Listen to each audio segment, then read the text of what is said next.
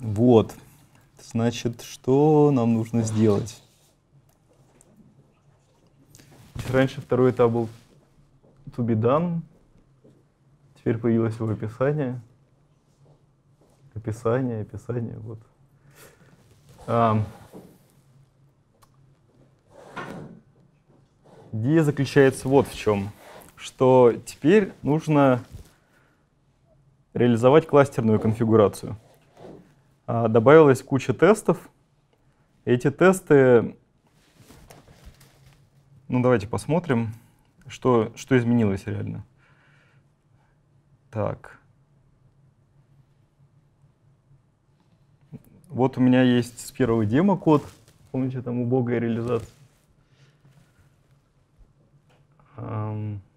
Где там был MyAPI, все дела. Давайте подмержим сейчас изменения, которые в мастере появились, и взглянем на то, что нам приедет. Так. Ну, вы все это делали, в принципе. Вот у нас добавлен апстрим. И всем вам пришлось подтянуть изменения. Там менялись тесты. Спасибо всем, кто участвовал в pull-реквестах. Были фиксы тестов всякие. Это круто. Я не ожидал прямо. А, ну, подмержим его. Вот, тут у нас конфликты возникли. Сделаем так и подмержим. Ах ты, Господи. Ну да. Теперь нашу реализацию накатим. А, вот.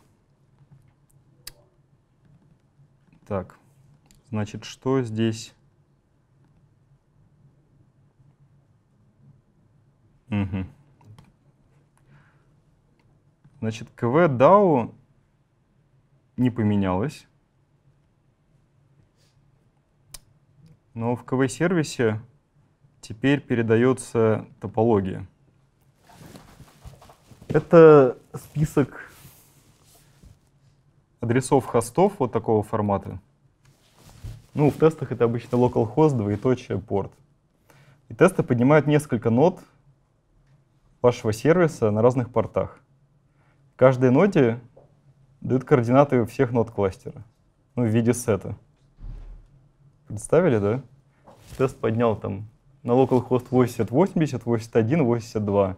И вам в фабрику при этом каждому передал все три адреса всех нод. Чтобы каждая нода вашего кластера знала про все остальные ноды. А, и расширился протокол мы также обращаемся по пути в 0 entity и передаем ID. Но еще появился необязательный параметр replicas. В формате число дробь число.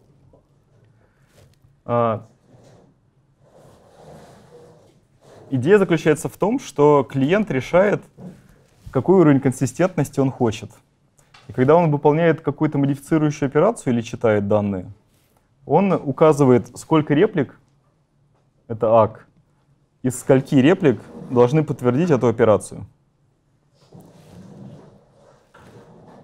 Ну так, абстрактно звучит, наверное, не очень понятно. А, ну, например, если мы делали put и говорили, что хотим получить а, подтверждение двух реплик из двух, и нам операция put вернула успех, то при операции get и параметрами реплика с одна реплика из двух мы получим то, что записали.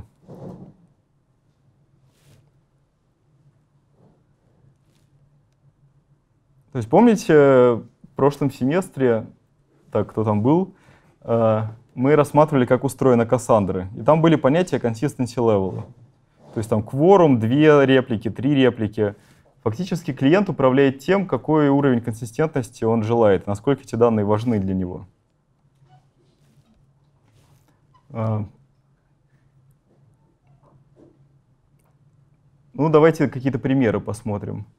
А, ну, во-первых, важная штука, что параметр реплика он опционален. Если он не указан, то подразумевается значение а, кворум из общего числа узлов. То есть если в вашем кластере три узла, в этом сете, который передается вашей ноде, три узла, то подразумевается, что репликас будет значение 2 из 3. Если указан, то используем сколько указано.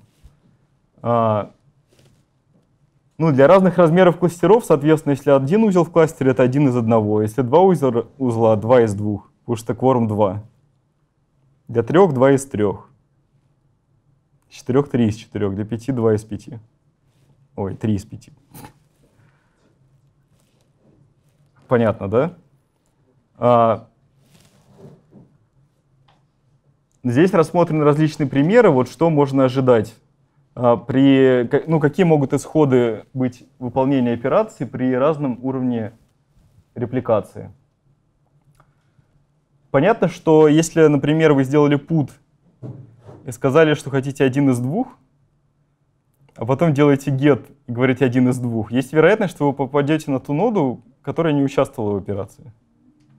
И вам могут и не вернуть значение, которое вы положили.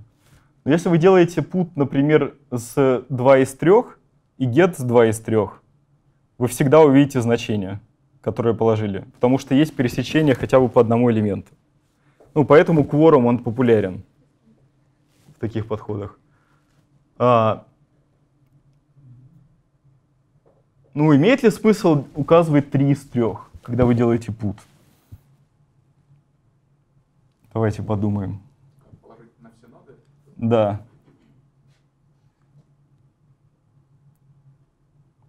Ну в чем минусы? Зачем 2 из 3 или 3 из 3 разделять? Почему всегда 3 из 3 не делать? Что? 3 из 3 надежно. Да, надежно. Но, а минусы какие? Да, ну смотрите, 2 из 3 означает, э, тут вот это надо, это сложный момент, его надо осознать. 2 из 3 означает, что мы запрос послали всем трем репликам. Но чтобы клиенту сказать «Окей», достаточно дождаться двух подтверждений, что все успешно. Три из трех тоже означает, что мы запрос отправили всем трем репликам. Но клиенту мы скажем «Окей», если все три нам скажут «Окей». Если хотя бы одна из них не ответит, или она вообще сейчас в офлайне, мы не, не, не имеем права клиенту сказать «Окей», потому что он рассчитывает, что три реплики подтвердили запись. То есть, когда мы используем три из трех, это означает, что наша система переходит в офлайн, если хотя бы мы одну ноду остановим уже не, не собрать будет нужное число ответов. А если у нас в кластере три ноды, и мы всегда работаем с э, фактором репликации 2 из 3, это значит, что у нас система будет продолжать работать, какая бы нода, ну, с минус одной нодой. Мы всегда соберем нужное число ответов. При этом все будет консистентно. Если там вот что-то непонятно, вы поднимайте руку, спрашивайте. Тут, э, потому что тесты все это проверяют. Ну, если вы не так поймете, вы не так это заимплементите, и будете, будет трудно разобраться, почему не так работает, и что тесты ожидают. То есть вот вторая циферка, она говорит, э, на сколько реплик мы посылаем запрос. А первая говорит, сколько должны подтвердить его выполнение, чтобы клиенту сказать, что все нормально. Если мы делаем 2 из 3, то мы, по сути, данные записываем во все три? Да. Но если две ответили, все, мы можем не дожидаться ответа третьей. Может, она скажет ок, может ошибка, ну неважно, уже два успеха есть. Вот, и если ну, при следующем гейте указан репликофактор, который не гарантирует пересечение по репликам, то понятно, что мы можем не прочитать что-то. Ну, мы либо можем увидеть старую запись. А, так, надеюсь, с этим разобрались. Следующая важная штука. А, а как выбирать реплики? Предположим, у нас в кластере три ноды, а клиент говорит, а я вот хочу сделать пут на 2 из 2.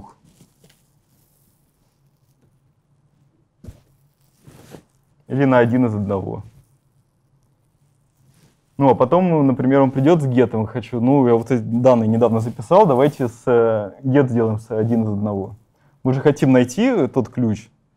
То есть нам ну, нужно реализовать какой-то алгоритм, который по ID из запроса выберет э, нужное число реплик, которые указаны в from.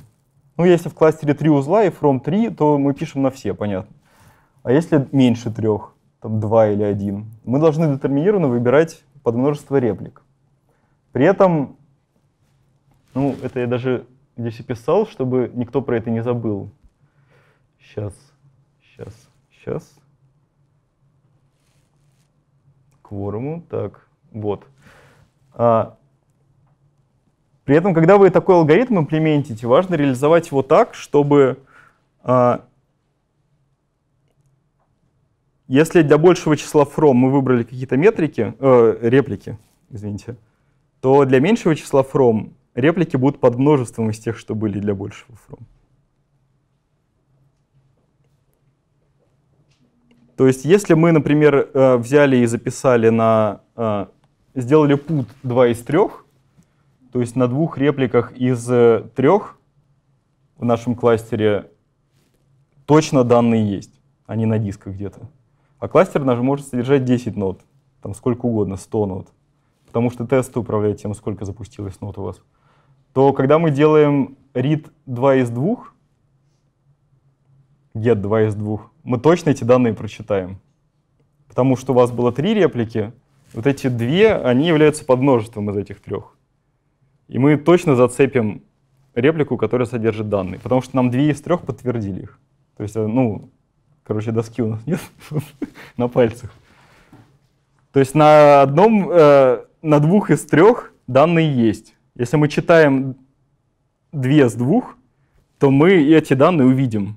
Мы этой парой хотя бы одну реплику зацепим, на которой данные есть. Если мы зацепили одну такую, одну такую, как мы определим, на какую Вот. Это следующий вопрос, сейчас мы будем разбираться с этим. Вот, это понятно, да? Если кому непонятно, поднимайте руку, еще раз попробую объяснить. А, значит, вот правильный вопрос вы задали, мы к нему вернемся еще. Но чтобы закончить про алгоритмы. Алгоритмов распределения, алгоритмов выбора реплик по какому-то ID среди нод кластера, их много. Это ну, область research а довольно старая.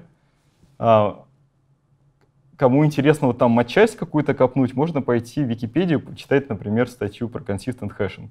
Вот мы примеры рассматривали весной, когда про NoSQL говорили. Есть много разных способов это делать. Сегодня мы такой самый простой используем в нашей реализации. А есть еще там рандеву хеширование, там его Google в статье про Maglev продвигал. В общем, есть разные классные алгоритмы для этого. Суть заключается в том, что а, нужно реализовать каким-то образом детерминированную функцию, которые, говоря, которые дают все, все ноды в кластере, дают ID и дают э, количество реплик.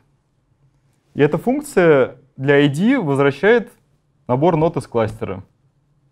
Количество нод равно количеству реплик. И она всегда будет возвращать одинаковые, одинаковые ноды.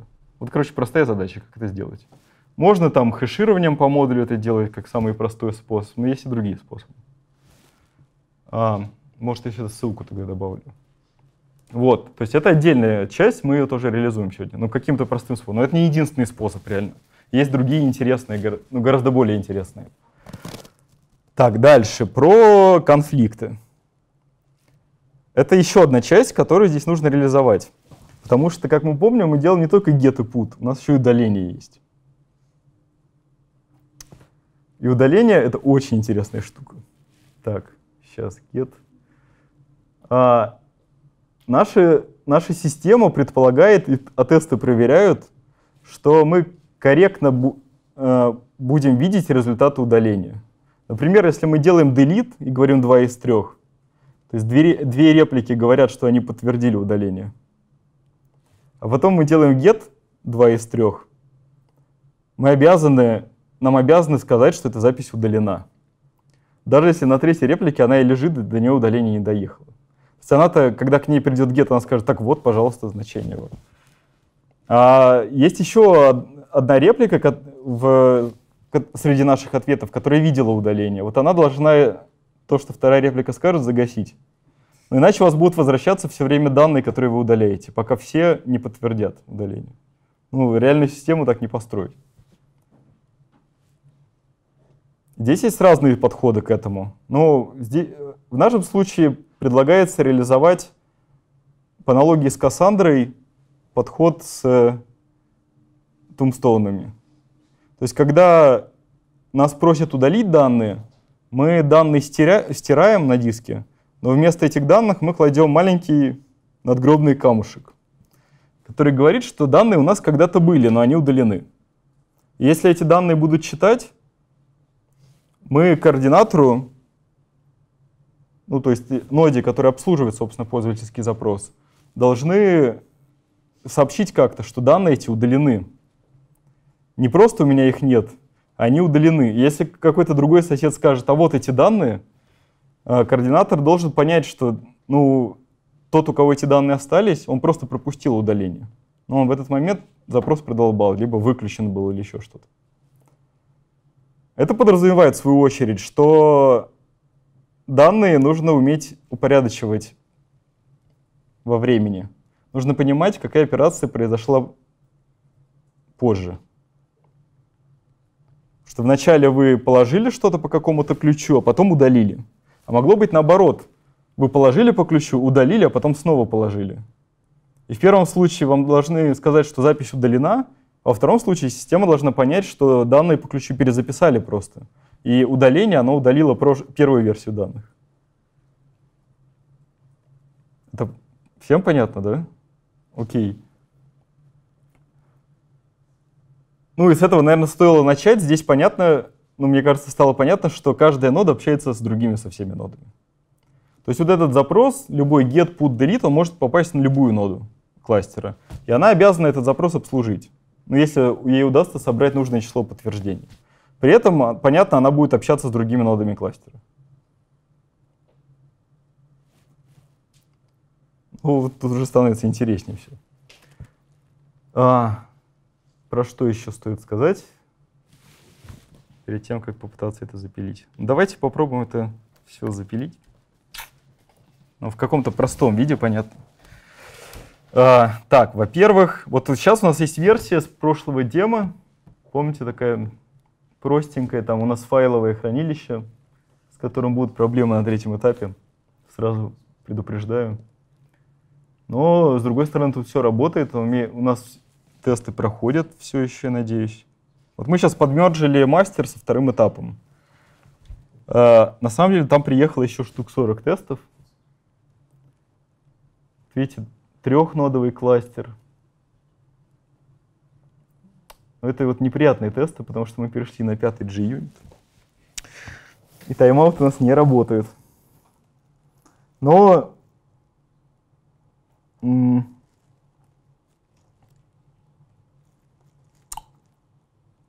чтобы нам сделать?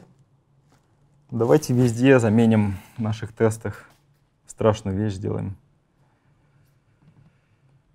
Заменим наши тайм-ауты на preemptive тайм-ауты.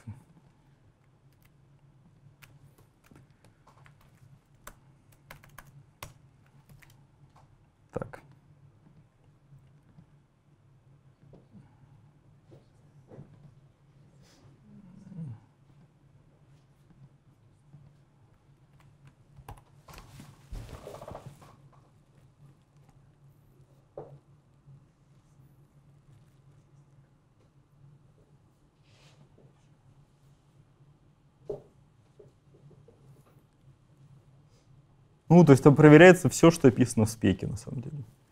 Разные запросы последовательности путов, гетов, пересечения, отсутствия пересечения. А,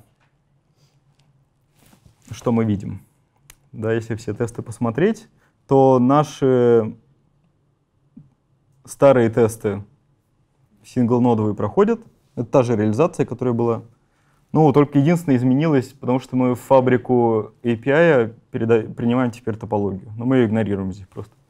Ну, а ноды, а тесты кластерные, они не проходят. Потому что наши ноды, ну, почти никакие не проходят, некоторые могут там, на самом деле. Там есть хитрые. Нет, никакие не проходят. Вот. Ну, давайте попробуем сделать так, чтобы хотя бы некоторые из них проходили. А в идеале все. Здесь еще важное допущение есть, что если клиент э, делает запрос, и он попал на какую-то из ваших нот, и он говорит, что я хочу получить э, один из одного, реплика фактор, подразумевается, что эта нода в первую очередь будет смотреть, искать данные у себя. Это на самом деле такой подхак, чтобы тесты могли проверять, что реально лежит на ноде. Ну вот это может быть не очевидно, но я надеюсь, вы про это вспомните, когда имплементить будете. А можно уточнить? Да. Все равно ведь мы запрашиваем по ID, а ID определяет, в каком месте лежит наш на кластере, и это как вычисляется. А, давайте попробуем показать.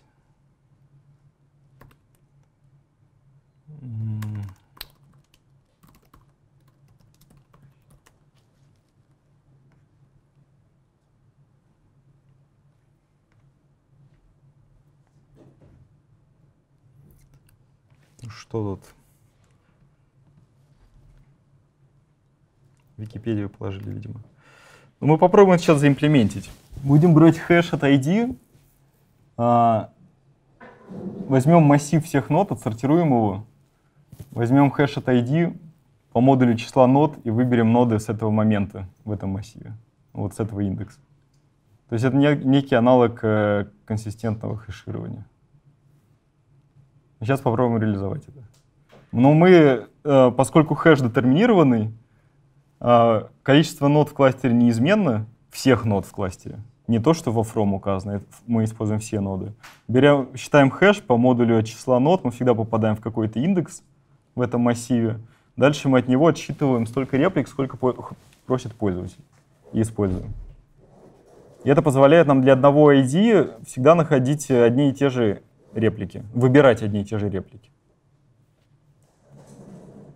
Если пользователь сказал from равно 3, мы с этого индекса отсчитаем 3 реплики. Ну, понятно, что это по кругу работает, потому что мы можем до конца массива дойти. Если я сказал 2, то мы отсчитаем 2 реплики, но они являются подмножеством трех реплик, потому что они, по сути, по кругу все находятся.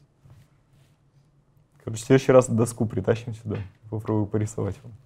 Но примеры мы рассматривали, и в, стать... ну, в Вики есть картиночки всякие. А можно еще в Гугле поискать. Подождите. Э, Картиночки. Ну вот типа как-то, какая хорошая картинка. Ну вот так. Да, вот у нас есть какой-то ключ, там строка, мы считаем от нее функцию, она, ну это хэш, он в какое-то место в кольце попадает. Реплики выбираем, топая дальше по кольцу. То есть это место, куда мы попали, следующая реплика, следующая реплика. Ну сколько нам нужно, столько берем. Так, еще я с прошлого, прошлый раз, ну не в прошлый, а когда демо было, забыл вам показать классную штуку. Кто-нибудь... Так, нет. Да.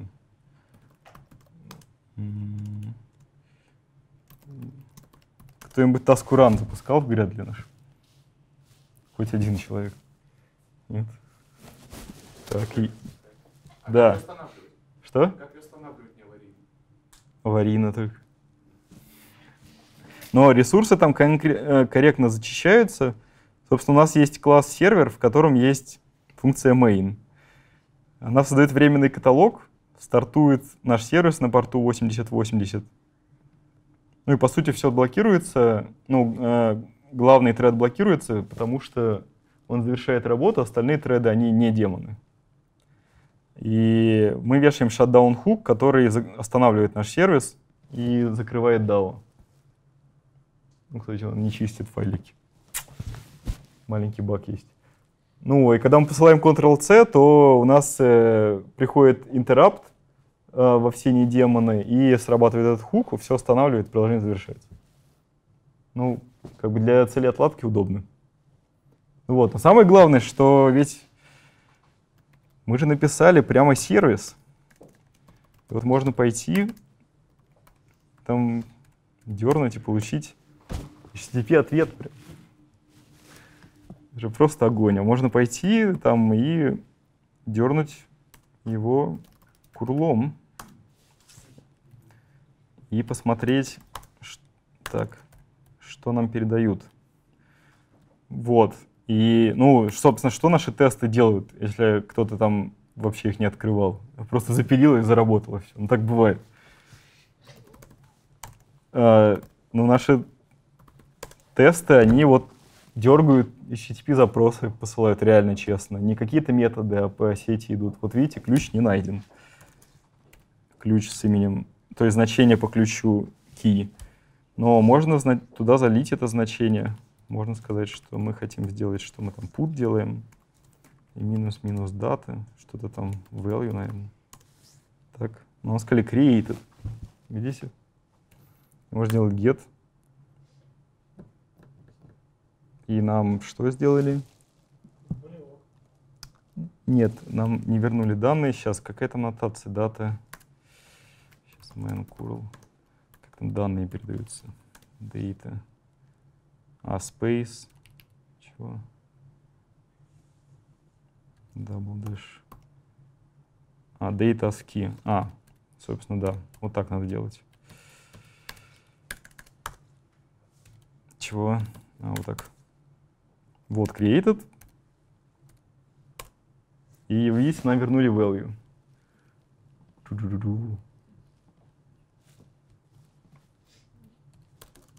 Ну, можно точно так же пойти и по этому ключу данные удалить. Accepted. Not found. Все круто.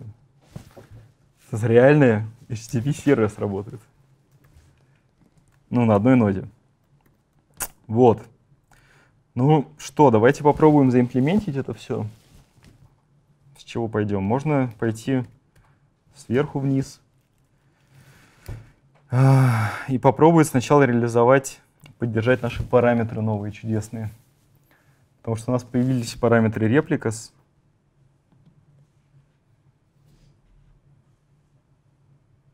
Ну, опциональный параметр replicas в таком формате. А, ну, будем делать все как-то по-нормальному. Так, я тут чуть-чуть причесал с прошлого раза. Помните, у нас там был код парсинг ID. На самом деле one-nio позволяет и покомпактнее все это написать. Поэтому у нас главная функция, главный обработчик entity выглядит теперь так. У нас есть параметр ID. Ну, мы сами проверяем, что он всегда есть. Это обязательный параметр. Ну а дальше мы в одном из случаев возвращаем нужный response. Никаких там send response ов, ничего такого, мы прямо возвращаем, наш метод возвращает response. Ну, немного покороче все стало. Везде одни return ы, return ы, return ы и все. Ну а в handle default мы на любой запрос говорим bad request, потому что у нас есть два обработчика для статуса и entity. Ничего другого мы не поддерживаем. Ну, вот теперь в entity у нас появился необязательный параметр, это параметр replicas. Давайте его добавим.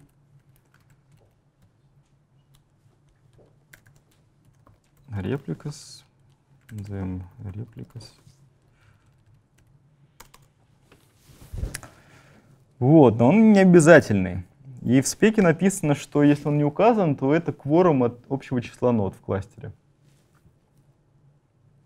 Как будем его хранить? Давайте сделаем какой-то простой поджи, который будет хранить себе эту штуку и уметь парсить себе из него. Private state class. Реплика фактор назовем.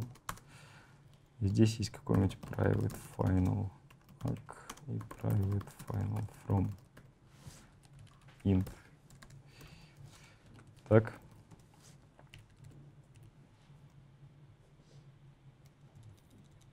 скажем, что у нас будет конструктор с ними. Сразу, как нормальные люди, мы все заассертим. Хотя нет, давайте так. Если ак меньше... Ну, меньше один это бред какой-то, да? Или ак больше... Или from меньше, чем ак. Ну, какая-то тоже странная фигня, да. Если from... Да, в принципе, и все. From мы не знаем, с чем сравнить, потому что мы не знаем количество реплик в нашем кластере. То тогда какая-то фигня. Вот, но этот, э, мы хотим, чтобы наш реплика фактор, он умел как-то парситься. Static rf from строки.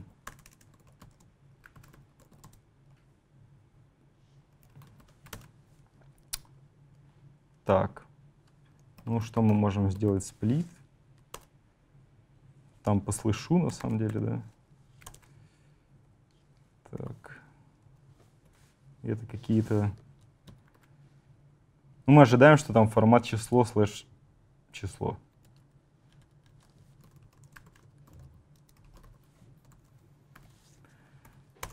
Окей.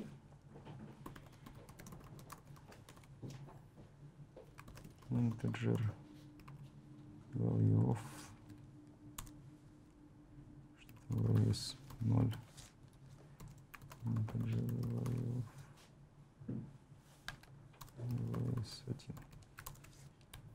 Ну, распарсили. Чудесно. Написали тупой парсер. Что он с value делает? Парсер. Mm. Ну, тут даже еще... Ну, вам рассказывали, наверное, да, что там кэш интеджеров лежит в стандартной библиотеке спрятанный. Ну, у нас будут маленькие значения, хорошо. Вот. Значит, э, вот наш API, он и топологию игнорирует. Ну, вообще-то мы ее хотим знать, э, и нам ее передают в сервис Factory. Здесь теперь появился параметр topology, и это set стрингов. Давайте его передадим нам. Да. А, мы его здесь примем. Ну, конечно, он not null. Final. Да, нам все равно, что это set. На самом деле нас интересует, что это коллекция. И там какие-то ноды, и они вот в формате вот в таком. И на самом деле наши координаты... Мы сами входим в это множество нод. Там все ноды кластера. Давайте... Что мы ну, это нам, например, позволяет узнать дефолтный реплика-фактор. Давайте его создадим. Final rf default rf. Ну, какой он? Это кворум от числа нод в кластере.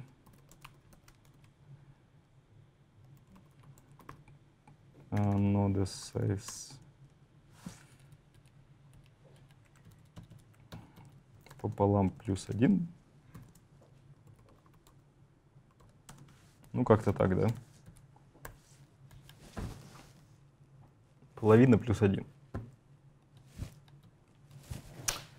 Так. То есть это дефолтное, дефолтное значение будем использовать, если реплика фактор не указан.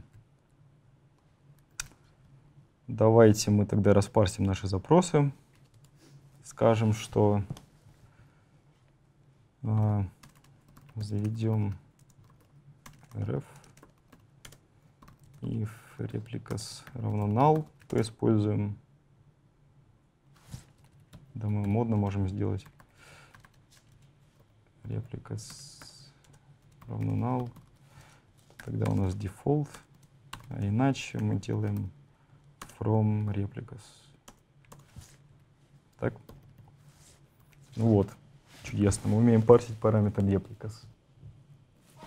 Пока не очень умеем его использовать. Ну, кстати, что у нас с тестами? У нас зафейлилось 21 тест. 25 прошло, уже неплохо. С прошлого раза-то. Да, тайм-ауты. Big RF. Некоторые вообще валятся. Ну, HTTP респонс.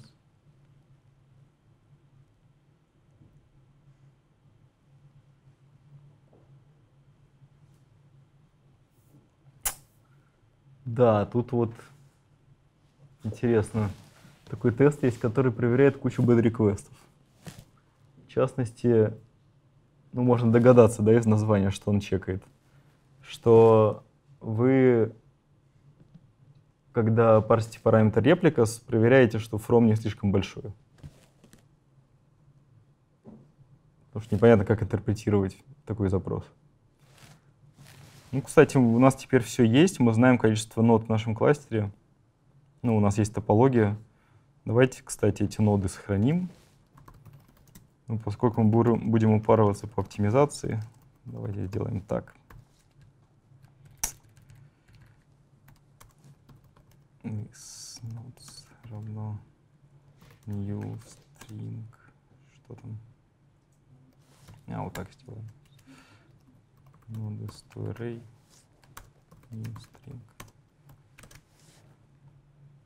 Давайте сортанем.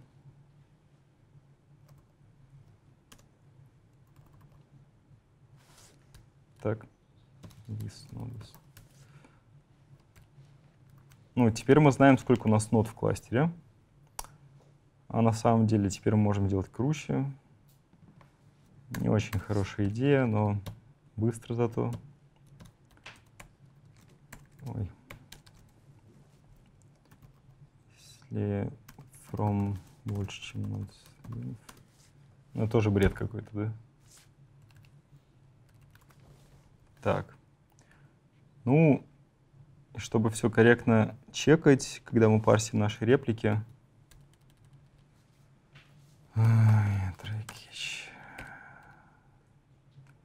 Давайте сделаем return response request.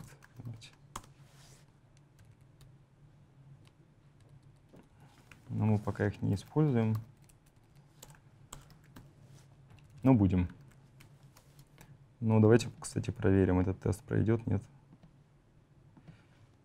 Ну, не так быстро.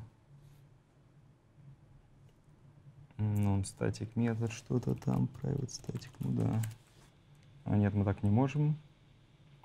Теперь мы так не можем. Нет, плохая идея.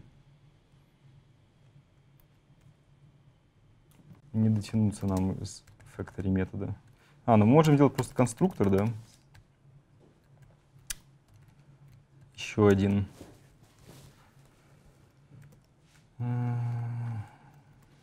Конструктор, да, нет.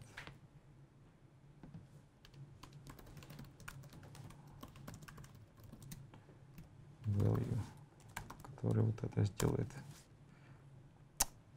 Но, черт вот Java, там вот нельзя вот взять этот код скопировать, да? И вызвать вот супер. Ну, вы понимаете, почему, да? Да. Поэтому придется так сделать как-то так. И еще вот так.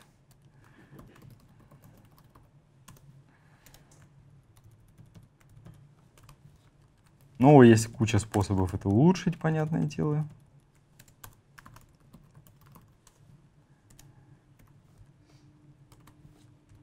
Что еще? А, потому, потому что нам... Зачем нам бокс значение? Что еще? Парсин, что ты хочешь? Так, так, так. Супер. А, никакой супер. This. Так. Вот, наш RF может быть создан из репликас. И люб, при любом исключении RF будем кидать ошибку. Но здесь, когда мы, мы помним, когда мы запускаем тест, нам надо не забывать указывать XMX.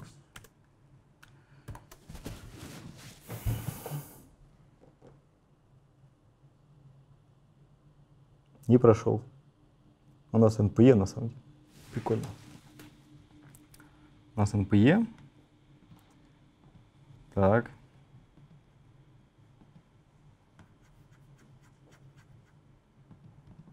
Да, классно тесты работают. Все зависло. Отпустила. А, Тубик РФ, что там нам делают? Нам 4 из 3 какой-то random value 4 из 3. А NPE у нас на чем? init. Что мы делали? А, о, интересно.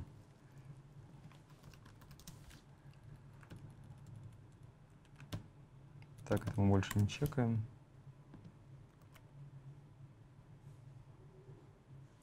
Мы это будем чекать здесь.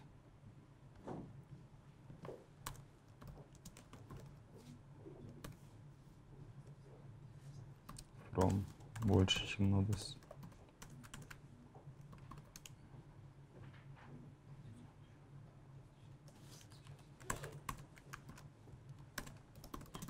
Too big. Так.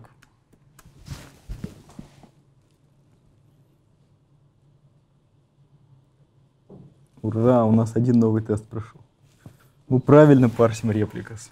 Ну, точнее, плохие значения репликас. Окей, с этим разобрались.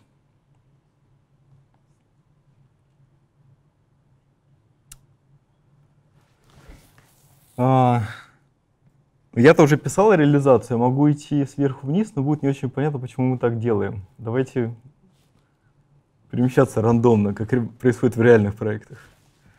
А, помните, что нам нужно разбираться с удалениями пропущенными. Давайте попробуем это поддержать со стороны нашего файлового сториджа.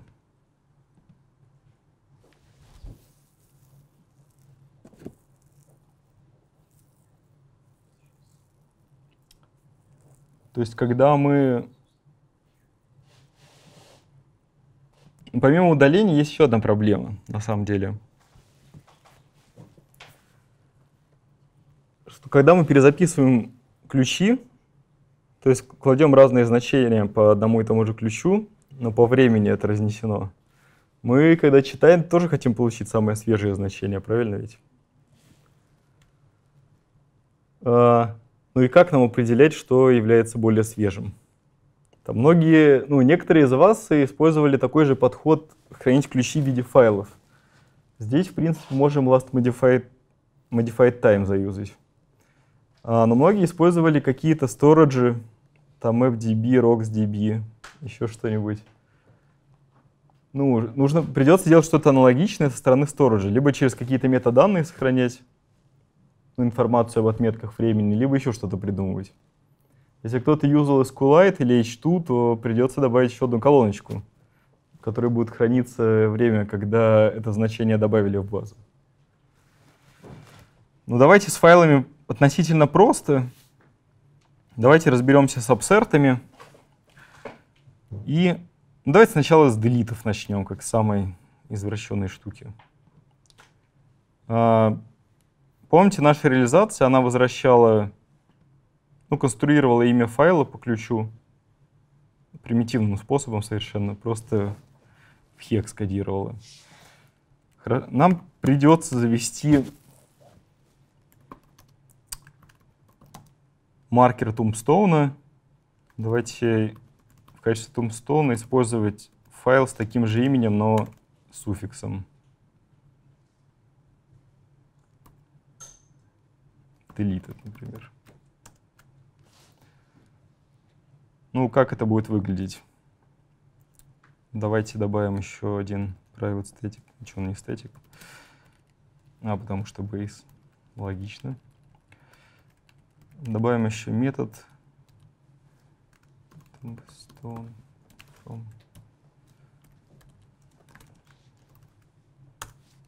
То есть мы по ключу можем, получаем путь к файлу, который является тумстоуном. Ну и при remove что мы делаем?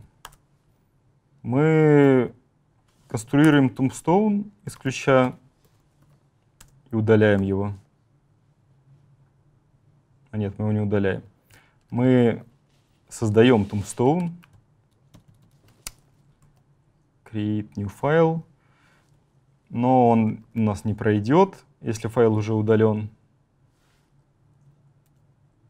Ну, еще раз, что мы хотим сделать при ремуве? Мы хотим, чтобы данные из диска исчезли, на их месте появился могильный камень, который говорит, что данные удалили.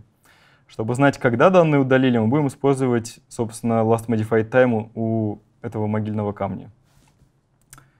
Давайте так и сделаем. Файл, файл, tombstone. Короче, мы ему берем set last modified system current time Если не смогли, скорее всего, файла этого нет. Тогда мы его создаем. Create new file. Надо что-то кинуть могут. Это тот самый случай, когда у нас метод может кинуть его exception. Вот. А после этого мы гарантируем, что появился tombstone, его увидят, когда будут читать, вот прямо в следующую миллисекунду. Поэтому мы можем создать, ну, можем удалить файл с нашим значением по ключу. И проверять нам ничего не надо. Вот. Так, все согласны, что так remove работает, наверное? Или что-то здесь не так? Ну да, здесь что-то не так. Я бы добавил здесь... Э, если мы не смогли last modified выставить, а еще и создать его не смогли, там что-то не так на диске явно.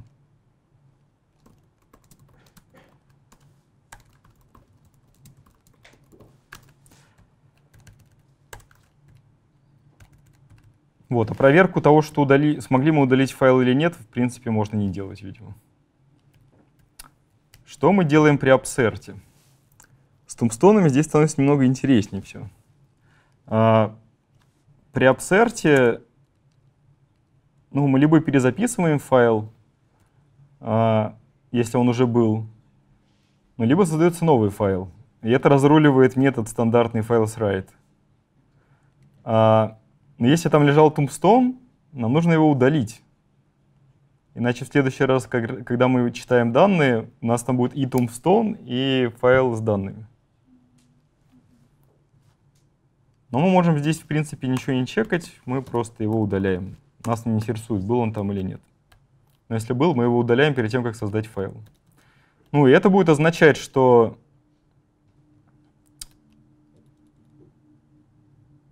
Да, если tombstone был, он пропадет. Угу. Так, с, абсер, с абсертом разобрались. Но остается самое интересное с гетами. Давайте. Если существует tombstone, то данных типа нет. Да?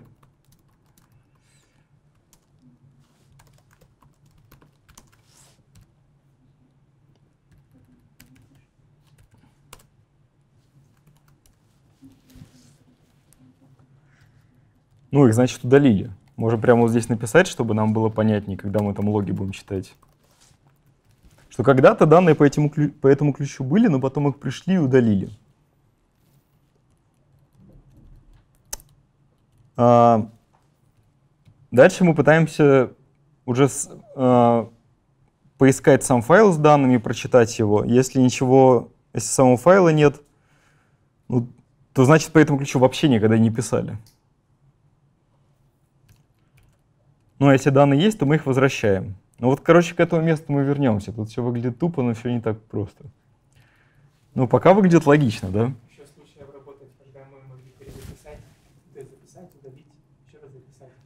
А, ну, смотрите, если мы записали, то мы идем в absert, удаляется tombstone, которого не было, создается файл. Потом мы удалили. Файл появился tombstone,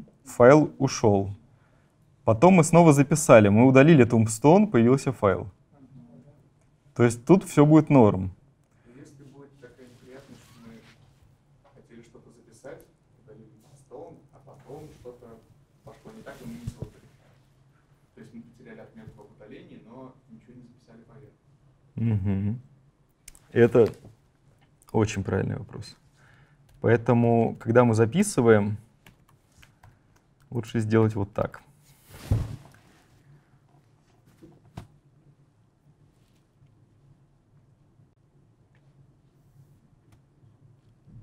Ну, потому что это две операции на файловой системе, мы не можем ее сделать атомарно. Нет у нас никаких транзакций в файловой системе. Но здесь есть, ну, собственно, к чему это приведет? У нас может быть гонка между абсертом и гетом. Если мы записали файл, а Tombstone еще не удалили, ну, где-то здесь у нас все сломалось, то мы здесь увидим Tombstone, потому что он еще лежит на диске, и сразу вернем, что данные удалены. Но мы не увидим записанный файл. Ну и действительно, как бы эта операция до конца не завершилась. Если она успешно пройдет, и мы удалим Tombstone, то здесь мы Tombstone не найдем, придем сюда, увидим файл и его вернем.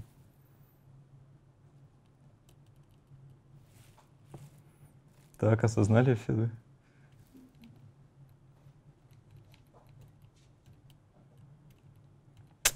Так, здесь есть еще одна штука. А, вот видите, мы там выставляем set last modified. Set last modified. Как вы думаете, а тут current time millis? Ну, в общем, миллисекунды это много или мало? В нашем сервисе вполне можно прийти и, наверное, раз тысячу перезаписать этот файл за одну миллисекунду и поудалять по пути. Ну вот на localhost, если все это запустить, на SSD, у кого-то NVMe там.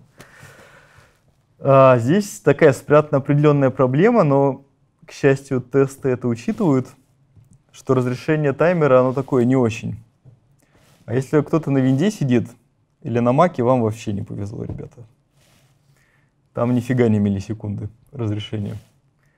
Ну, конечно, это зависит от версии к версии, но ну, понятно почему, да, имеет смысл делать не очень точно, потому что меньше мы будем писать на диск, когда мы с, с файлами активно работаем. Ну вот в Linux миллисекундное разрешение, хотя, кстати, черт его знает, это, наверное, зависит от файловой системы. Ну, тесты там делают слипы, если что. Вот, если у вас на винде будут проблемы с какими-то тестами, то присылайте pull request, если проблема именно в этом. Ну, либо делайте правильно. Можно рядом с каждым файлом, который вы записали, если вы храните файлами, а, хранить еще один файл с метаданными, маленький, в котором внутри будет точное время. Ну, вы там берете его, ну, либо тот же current time millis, либо системными средствами еще что-то более точное. Но для текущей реализации нам, в принципе, файлов хватит. Так. Но смотрите, здесь есть проблема. Когда мы делаем get, если мы встретили tombstone, мы говорим, что ключа нет. Ну, если файла нет, мы тоже говорим, что ключа нет. Вообще-то эти две ситуации разные. Потому что та нода, которая обрабатывает пользовательский запрос — она свяжется с репликами нужными, скажет, ну давайте мне ключ, ну данные по ключу, но они скажут, одна из них вот в этом случае скажет, у меня данных нет, вторая в этом случае скажет, у меня данных нет. Ну что она пользователю скажет? Ну ладно, окей, здесь она скажет, ни у кого данных нет, зашибись, все нормально. А если одна скажет, что у меня данных нет, потому что их удалили, а вторая скажет, а у меня есть. Ну, то есть мы вот здесь мы теряем информацию о том, что данные были удалены и когда они были удалены. Кстати, давайте тест еще запустим. Мы тут что-то поддержали вообще.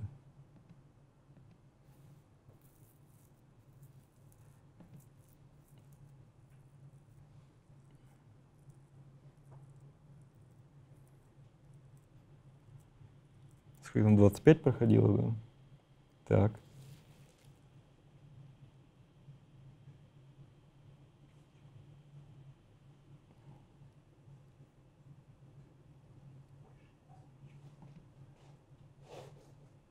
Ну, еще 4 прошло.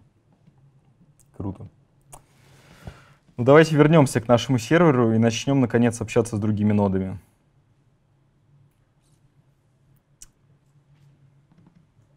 Так, это убираем. Вот. Значит, нам пришел запрос какой-то get, put или delete. Мы выяснили, сколько мы должны собрать подтверждение от скольки реплик. Построили RF, либо использовали дефолтный. Так? То есть и все, что мы здесь делаем, вот мы обрабатываем три метода, нам теперь нужно сделать с учетом количества реплик, которые юзер спросил. Давайте начнем с делита, как самого простого. Вынесем, наконец, это в отдельный метод delete. Delete. И что мы тут принимаем? Мы принимаем какой-то ключ. Мне так неинтересно, строковый. ID. И реплики, с которыми работаем.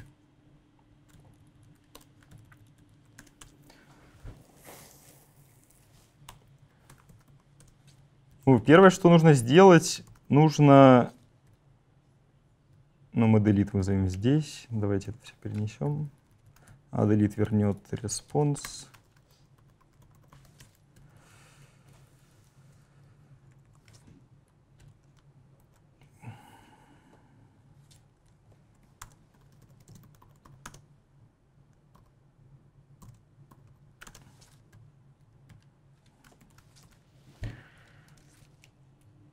Первое, нам нужно выбрать ноды, с которым придется послать delete.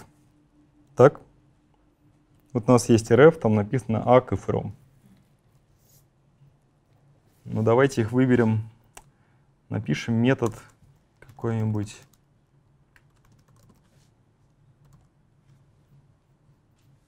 Что, репликас?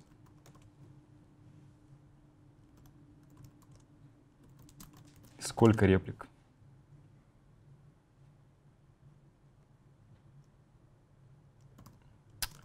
Ну, этот каунт явно не больше количества нот в нашем кластере, да?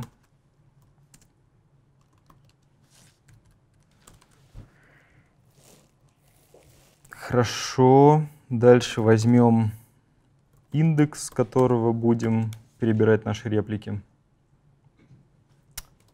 Ну, как мы его посчитаем? Реплики мы считаем для, по ID нашему. То есть мы можем у него хэш-код взять какой-нибудь. Ну так, тут дальше тест на внимательность. Ну вот это будет наша первая реплика. Да?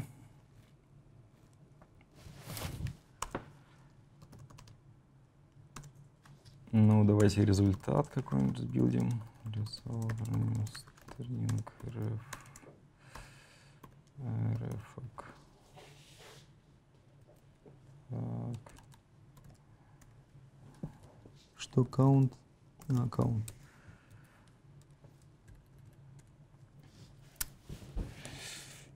А, ну, ну и мы заполняем наш результат что первый пойдет реплика, реплика из реплика и, потом и равно и плюс 1 по модулю modus length turn result. Ну, нифига это не файл. Так. А, и count. То есть нас просят для этого ключа вернуть э, указанное количество реплик. Мы считаем хэш от ключа по модулю числа реплик, выбираем индекс в массиве, от него нужное количество реплик копируем в результат. Ну, возможно, пересекая границу массива. Что здесь не так? В этом коде есть баг. Так, и что с ним? Хэш-код, а что с ним не так? Он, да, он крутой хэш-код. Ну да. Да, ну вообще на самом деле это правильное указание. Он возвращает int, и вполне себе хэш-код этот бывает отрицательным. А знак операции по модулю в Java от чего зависит? Никто этого никогда не помнит. В общем, правильно сделать будет так. Что там у нас? Max value. Ну, то есть старший битик обнулим. и у нас будет положительное число, и модуль точно будет положительный. Так, кому непонятно, как работает этот метод replicas? Так, окей. Еще раз берем, считаем хэш от ID, смотрим, в какой элемент попали, и от него берем нужное количество реплик. Ну, реплик больше, чем числа нод быть не может. Окей, вот и наш метод delete. Выясняем, с кем мы будем общаться. Наш ID и rf. А, чего? А, rf from. Вот этим репликам мы должны послать delete. Да. А, но мы можем быть одной из них. Наверное, здесь можно оптимизнуть.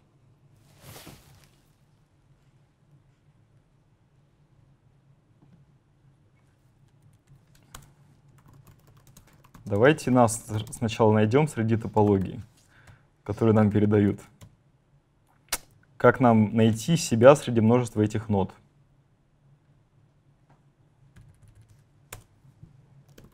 Так, думаем. Вот есть у нас ноды.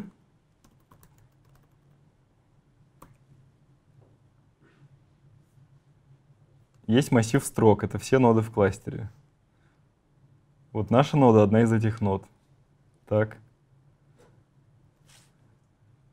Как нам найти индекс своей ноды?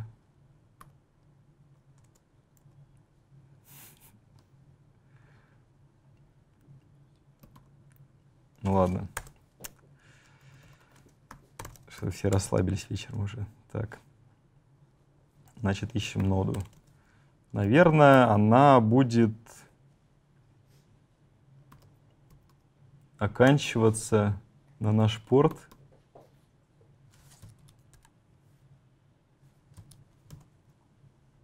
Ну и мы там обязаны быть, поэтому мы делаем, что find first и get, несмотря на все. А здесь мы делаем integer to string. А, сделаем по-сишному. Так. Так.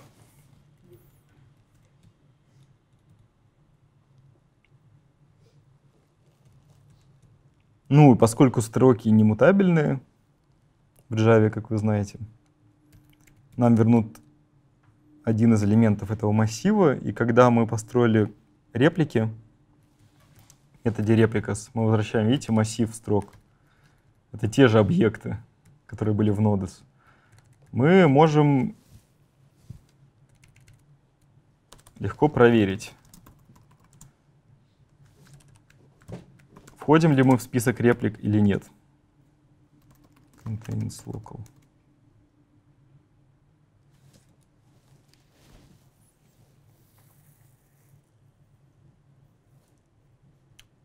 Сейчас надо подумать. Чуть-чуть подумать.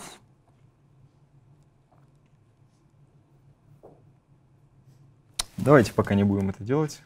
Пробуем проще. Посмотрим, какие тесты у нас не пройдут. Окей. А, нам нужно собрать известное число аков. А именно столько.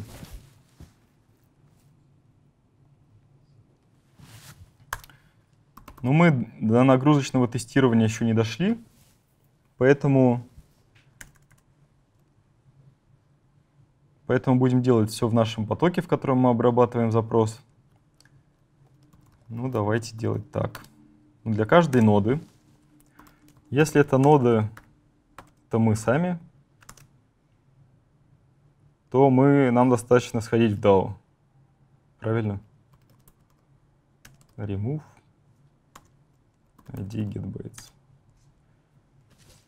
Но нам DAO может вернуть ошибку. Эту ошибку мы что-нибудь сделаем там, залогируем. Нормальные люди их залогируют. Мы в stdr просто зафигачим. А, ну и здесь у нас успех, да, поэтому мы можем сказать, что операция давайте вот так сделаем. Вот счетчик успешных хаков. Мы молодцы, смогли локально записать, значит так у нас есть один. Круто. А если нам нужно опросить удаленную ноду, ну, то есть это не мы, нам нужно сходить по сети. Как это сделать? Ну, у нас тесты ходят вообще в HTTP интерфейс наш. Использую для этого чудесную библиотечку Apache Fluent. Ну что, будем не только в тестах ее использовать. Ну как тесты это делают? Они там посылают какой-нибудь delete запрос вот таким образом. Давайте также пошлем. Так, где-то моя API. То есть эта нода, это не мы. Нам реально нужно топать по сети и просить ее удалить данные. А, сейчас.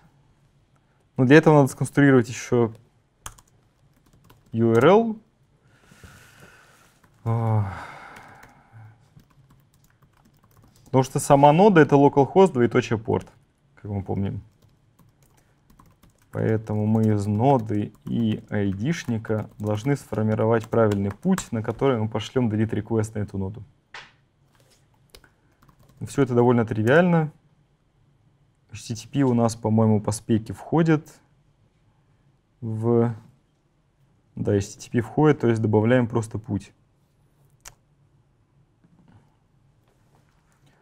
Ну да, плюс, что там v0 entity id равно Зашибись. Так, request. Что-то не понравилось-то. Request delete. Давайте так. Что, другой request, что ли? А, понятно. Мы же в new URL. А, ну, собственно, нода и ID. Делаем execute. Он что-то нам может бросить. А, HTTP но в случае успеха он нам вернет ответ. Так. Ну, вы поняли, да, у нас реквест из OneNew заклэшился с реквестом из Apache библиотеки, поэтому есть. Отечественное импортозамещение. Короче, с клиентом сейчас посмотрим. HTTP клиент. О. Нет, Scala есть. И в Kotlin вроде, да. А в Java... О, delete есть. Фу, круто вообще, да, точно. В баню его. Ну, давайте попробуем с нашим... Так, это в тесты откатим. Возьмем наш... Ну, значит, этот HTTP клиент, он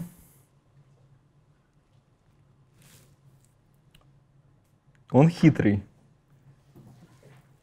как и весь Ван Под ним скрывается пул соединений, и это довольно навороченная и быстрая штука. Поэтому давайте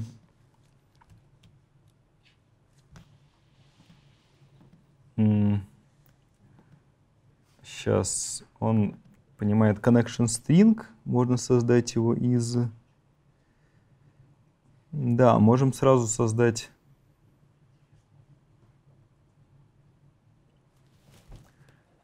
connection string. Ага, окей. То есть давайте сделаем мапу из всех нод в HTTP клиенты для этих нод.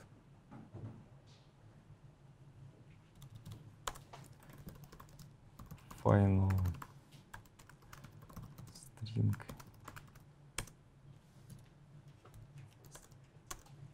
Ага, господи. Давай, давай, идеюшка. Так. А, ну, зададим ее. Флешмап.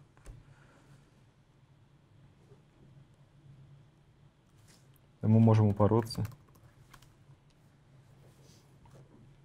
Так.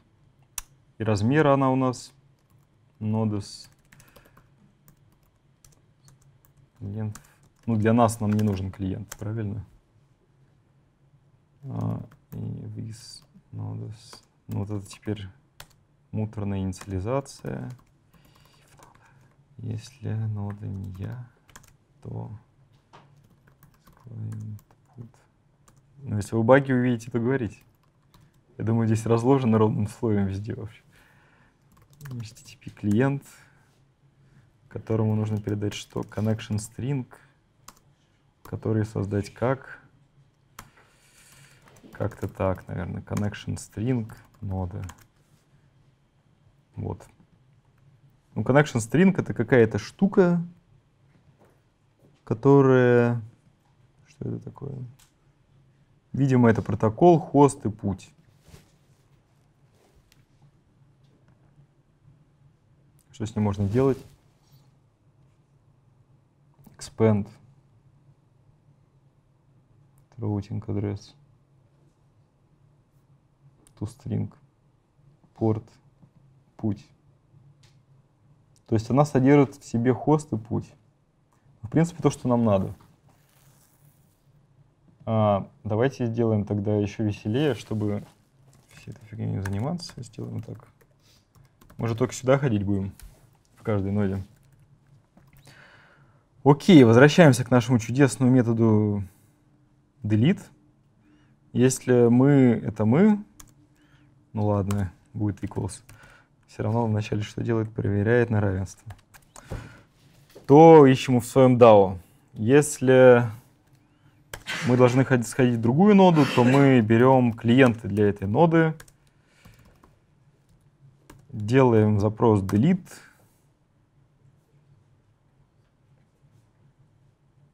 Зачем здесь URI? Так. Как это связано с connection string? Create request, метод delete, URI. И что? Request. Угу. То есть путь из connection string не используется.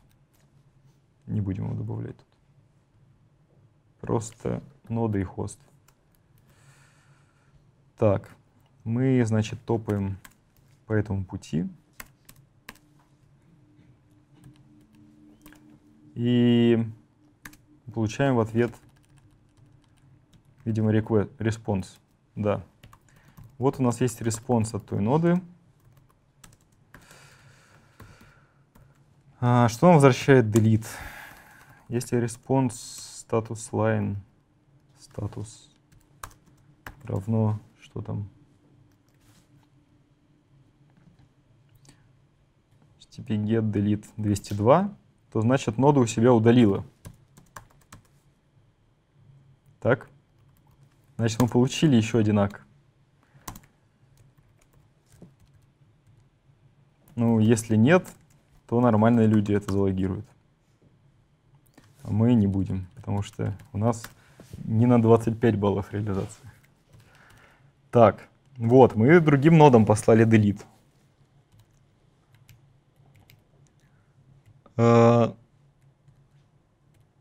Окей. Ну, теперь осталось только сверить, сколько нам аков удалось собрать.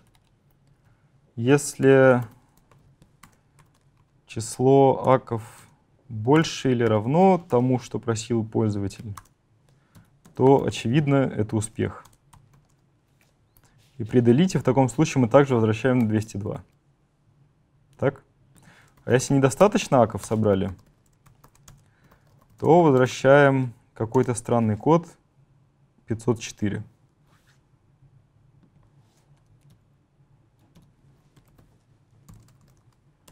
А давайте посмотрим, что это такое. Может, там есть для него константы. 504 gateway timeout. Ну, окей. Так. Ну вот мы каким-то образом delete реализовали.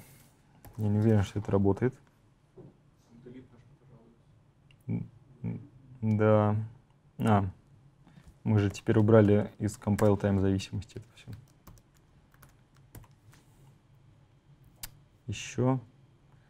Так что delete. Что он хочет? А, unhandled exceptions. Ну, на самом деле... Ну, еще раз, что мы делаем в делите? Мы выбираем нужное число реплик. Мы обходим каждую реплику. Если это мы, то мы просто обращаемся к DAO и засчитываем ак. Если не мы, то мы делаем сетевой запрос. Если нам ответили успехом, то мы получили нужный ак. Если мы набрали достаточное число аков, пользователю можем сказать все ок. Если не собрали, то не ок. Видите, здесь, кстати, интересная штука есть, что наш storage, ну, например, переполнился, и он больше не пишет, а реплики пишут. Если мы наберем достаточное число аков, это нормально. То есть мы просто как здесь координатор, у нас storage отказал, но система работает дальше. Давайте ну, применим супер-мега паттерн, который называется Кажется, что абсерт будет выглядеть похожим образом. Ну так, вычтем себе 5 баллов, да? Абсерт.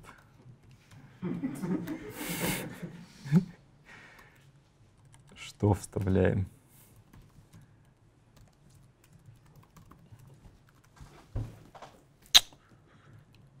Ну, уже напрашивается, да, на самом деле, что здесь общее в, эти, в этих методах. Здесь вполне можно какую-то лямбдочку передать. Но, к сожалению, тут немножко разные коды возврата будут все время. В общем, ну что, здесь все работает так же. Если это мы, то мы к себе вставляем данные, считаем аки, посылаем put, put кстати, put body умеет передавать. Это просто идеально. Если put сказал, что там 201, да, то все отлично. И мы возвращаем created, да.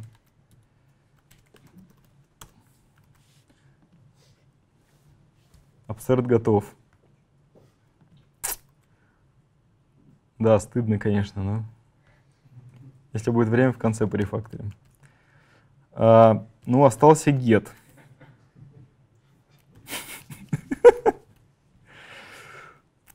Get. Get, он уникален.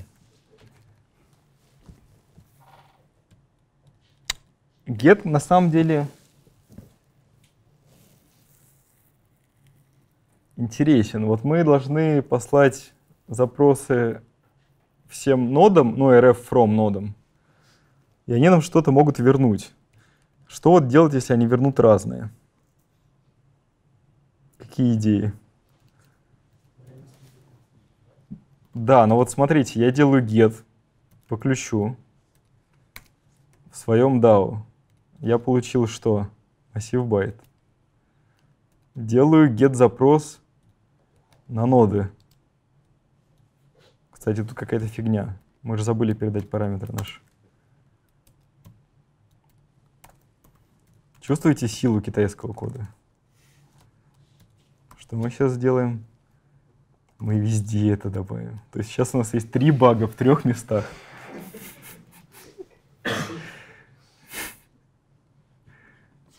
Никогда так не делайте. Только если это грязный хак, как сейчас. Да. Вот. Что? Что делать? пути. Блин, мы еще и value стер. Да, тут надо value. Да, и здесь еще баг есть. Три раза причем.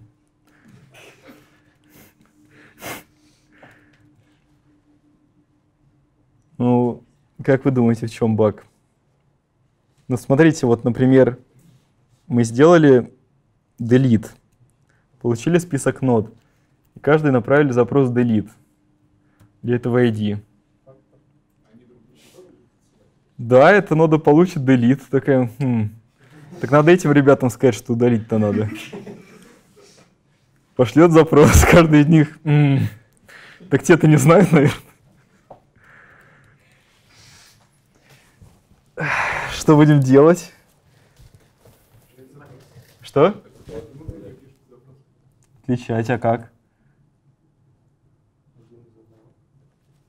Один из одного. Один из одного вариант.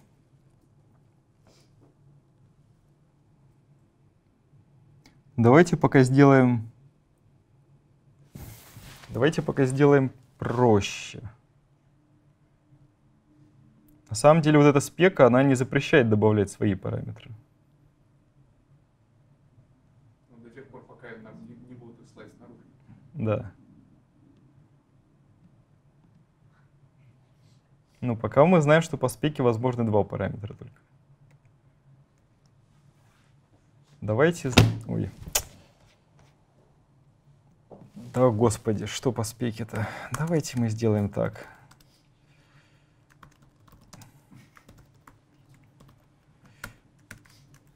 Proxy header.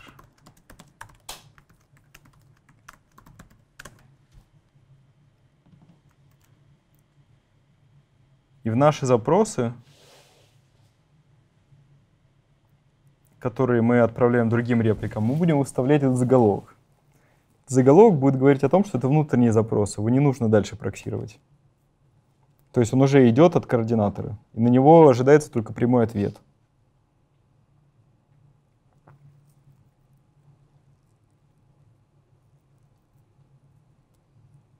Придется, ну, во-первых, нужно этот заголовок доставать. Ох, request, get header. Что? Proxy header.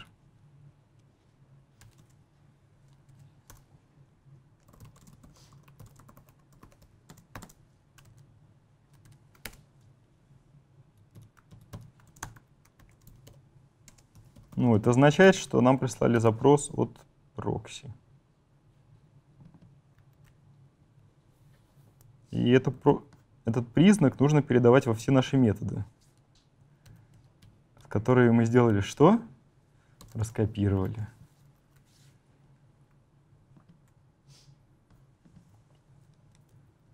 И если,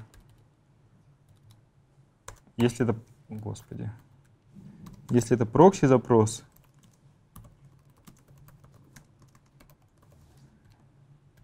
то вот это все делать не нужно.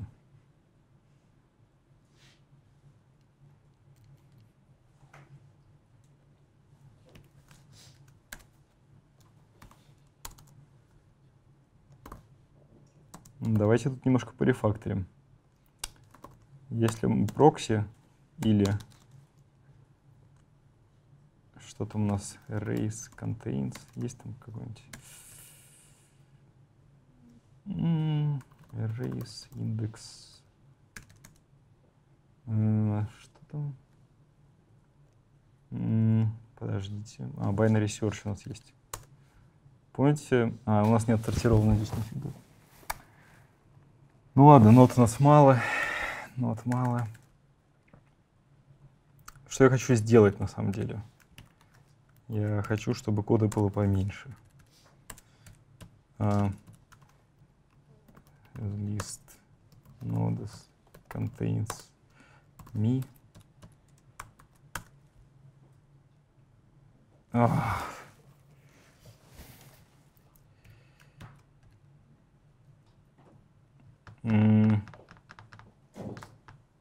Короче, ладно, сделаем тупо.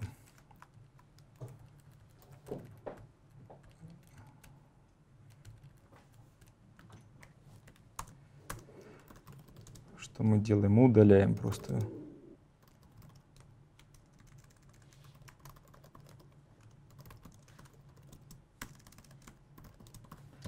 То есть это удаление из DAO.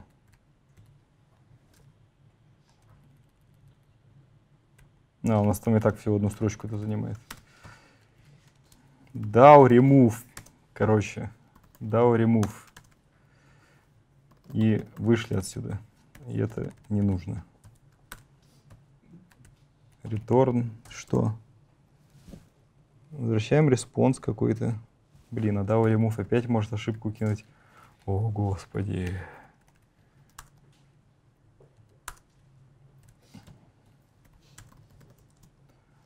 New response accepted. Empty.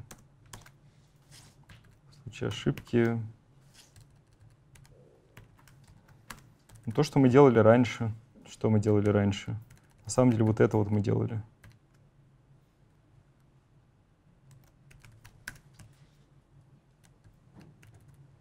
А, подождите.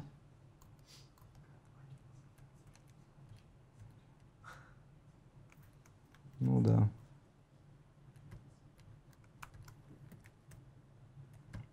То есть мы обрабатываем delete. Если у нас э, отпроксированный запрос, то мы должны только на DAO его отработать. И все. Если запрос от пользователя,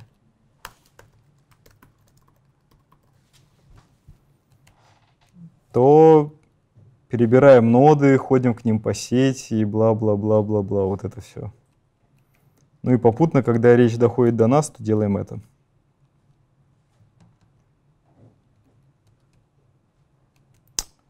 Итак, для абсертов. Давайте еще скопируем. Так, следим, следим. Какая-то куча кода. Так, чтобы нам вынести? Response, get status, user request. If proxit.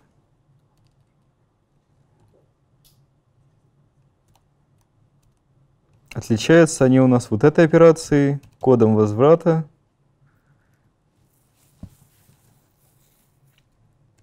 И вот этой операцией.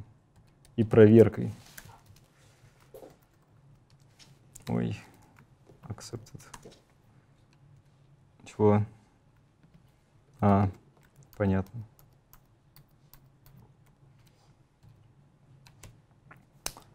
Ладно, потом порефакторим.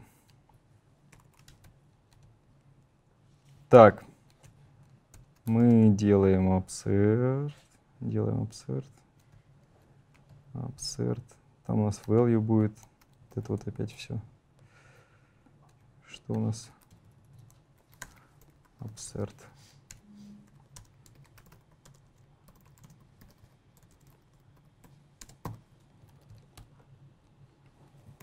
А, кстати, это вниз. Ну и тогда мы поправим здесь. Чувствуете, какой отстой копировать код? Так, мы делаем absert, мы делаем value, created, а, берем реплики. Если наша реплика, то мы absert делаем, value, есть одинак. Если не наша, то мы делаем absert, что, а, value, если created, есть ак. Если набрали нормально аков, то created. Что-то такое, да? Delete и absert у нас работают, наверное. Вот еще остался get. С гетом та же петрушка, только... А, кстати, где там баг? Помните? Там же баг еще есть. Где баг? Баг. Мы же забыли заголовок-то выставить. Наш любимый прокси хидер какой-нибудь. Ну, вот такой. Интересно, как они обрабатываются? Создаем request. Что с ними делают? Request at header. Link. Что? Header link. О, как круто. Никаких двоеточий, ничего такого. То есть здесь ожидается на самом деле строчка. Не имя значения, а Интересно, когда мы получаем заголовок? Как интересно. Так, get, где мы получаем? Вот, get header делаем бла-бла-бла, header count, region matches. А, то есть проявля... проверяется, что заголовок начинается на эту строчку. Никаких двоеточий. Воспользуемся этой возможностью.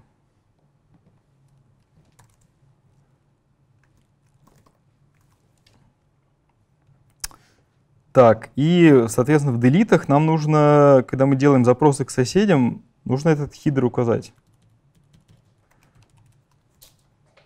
Да и в абсертах тоже.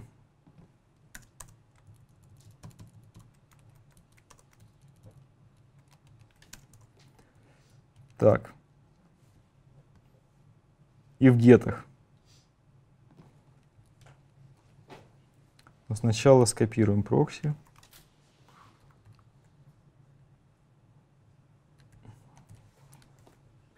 Ой. Так, абсерт. Скопируем. А, подождите, нам delete больше похож.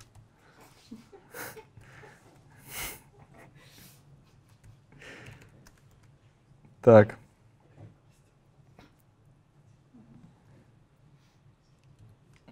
Так, и get нам не нужен теперь, он кривой.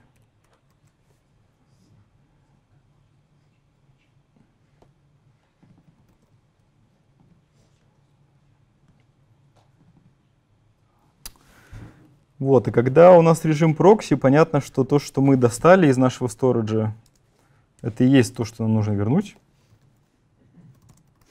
New response, окей. Вот наши чудесные данные. А вот когда мы пошли к другим репликам, тут вот надо что-то делать. Кто-то из них нам скажет, что данных нет. Кто-то скажет, что данные есть, и они одного вида. Другие скажут, что данные есть, и они другого вида. И что нам делать в таких случаях? Что? Надо по кучкам собирать и пытаться набрать. Но если они просто разные, вот есть три версии данных. Если каких-то наберем нужное количество, значит все нормально. Нужное... Окей, смотрите. Что? А, на что посмотреть? Ну вот, мы, например, делаем два из трех. Запрос мы посылаем всем трем. Один говорит, я удалил, другой говорит, значение А, третий говорит, значение Б. Что пользователю вернем? Так, окей, последнее. А, а как нам перед... Да. Ну, по логике, да, действительно, нам нужно каким-то образом передать, по сути, время изменения. Что? Ну, в ответе скорее. Да. Ну, действительно, давайте так попробуем сделать. А с удалениями нам что делать? Мы сейчас наш DAO чудесный, он в случае отсутствия значения возвращает no such element exception. И времени удаления мы не знаем.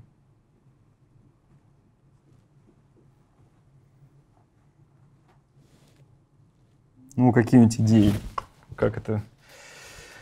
Что делать-то? В exception записать. Время. А потом строчку достать распарить. Так это, это следующий уровень уже после китайского. Да, можно. Но, блин, exception какая-то тяжелая штука довольно.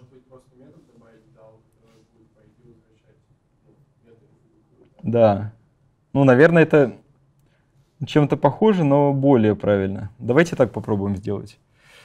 Сейчас absert id value.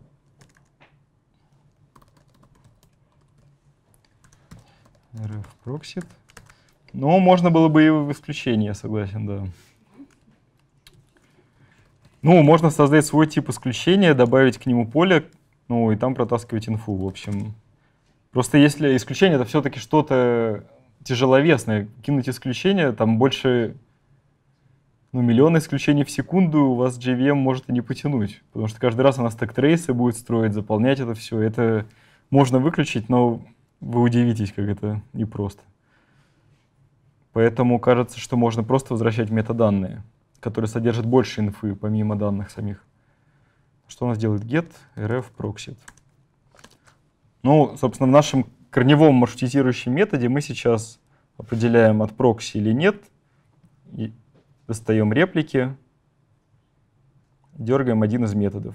Ну, как улучшение, наверное, стоит сделать не такой трэш, который я написал, а вот это достойно отдельного маленького метода. То есть это просто обращение к нашему DAO. Это же обращение мы можем использовать здесь. Ну, возможно, это все можно в лямбды зафигачить, но придется вот еще коды проверять. Вадим, а если вот про исключение говорить, допустим, мы сделали put 2 из 3, потом сделали put 1 из 3, одного и того же айдишника, у нас же, на, наш же exception не выкинет, но при этом значения будут разные, нам нужно консистентность как-то установить. Вот Здесь вот вариант интересный. Да, вот. Put 2 из 3, Да, потом put 1 из 3. один из трех. Да. Если все ноды работают, то следующий put он перезапишет на все три ноды это значение. Потому что из трех означает, что ну, он попытается всем послать. Да. Но и здесь мы, видите, мы сначала ко всем обращаемся, собираем acknowledge, а потом смотрим, набрали или нет. Мы не прерываемся, как только мы набрали. Потому что пользователь говорит, что я в принципе хотел бы три реплики. Но верните мне успех, когда не меньше двух вы гарантируете. То есть он готов заплатить за три реплики данных. Так, а, окей, давайте с гетами разбираться. Видите, все не так просто оказалось. Собственно, наша DAO, наш... Классно копировать код, да? Ну, как бы да, мы здесь остановились. Ну, пойдем в наш DAO. Нам нужен не только массив байт. Нам нужно нечто с инфой. А, Ну, давайте поменяем его. Добавим суперкласс value.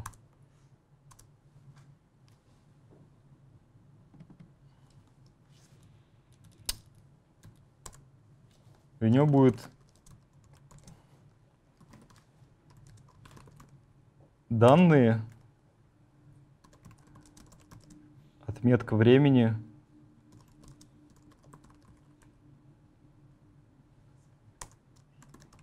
и какое-нибудь состояние. Что такое состояние? Это у нас будет enamчик, который говорит, что либо у нас данные есть, либо данных, данные были удалены, либо их никогда мы и не видели. Ну, есть еще идеи какие-то? То есть absent это значит, что на диске ни тумстоуна, ни ключа, ничего нет. Removed это значит, мы нашли тумстоун. А present это значит, что есть тумстоуна нет, а данные есть. А, давайте сделаем конструктор, который все это принимает. Только чтобы пользователь не напихал вам всякой фигни, закроем его. И сделаем ряд фабричных методов.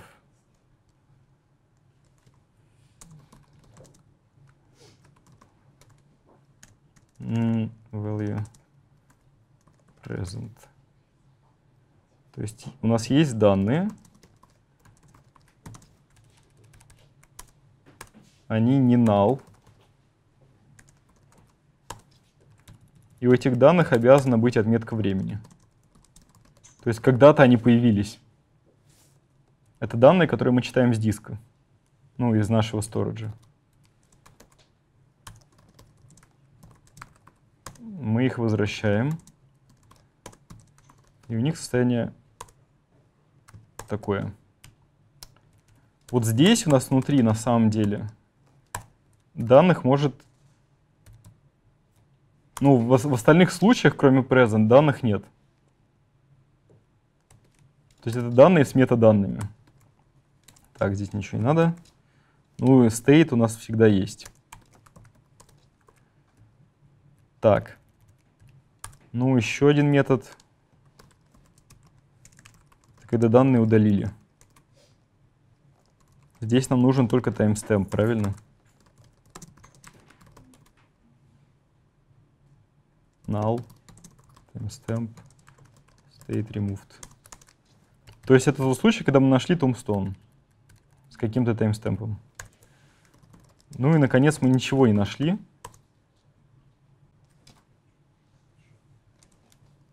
Absent.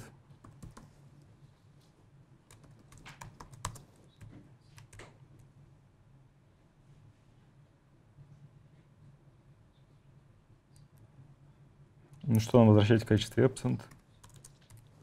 Давайте доведем константу. Там все null, таймстемпа нет, state absent.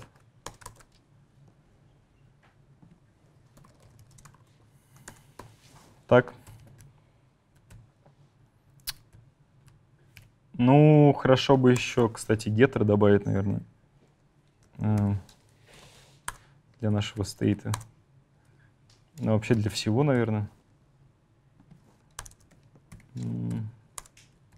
Data.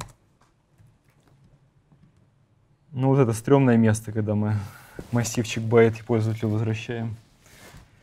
Лучше кишочками не светить тут, ну ладно. Так. А, ну, это тот случай, когда нам придется поменять интерфейс гетто.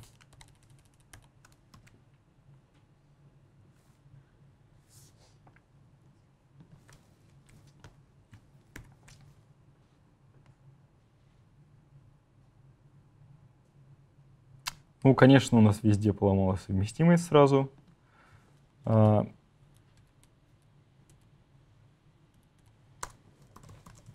ну и нужно проверять вообще, что нам вернули. А, data DAO get get bytes if data get state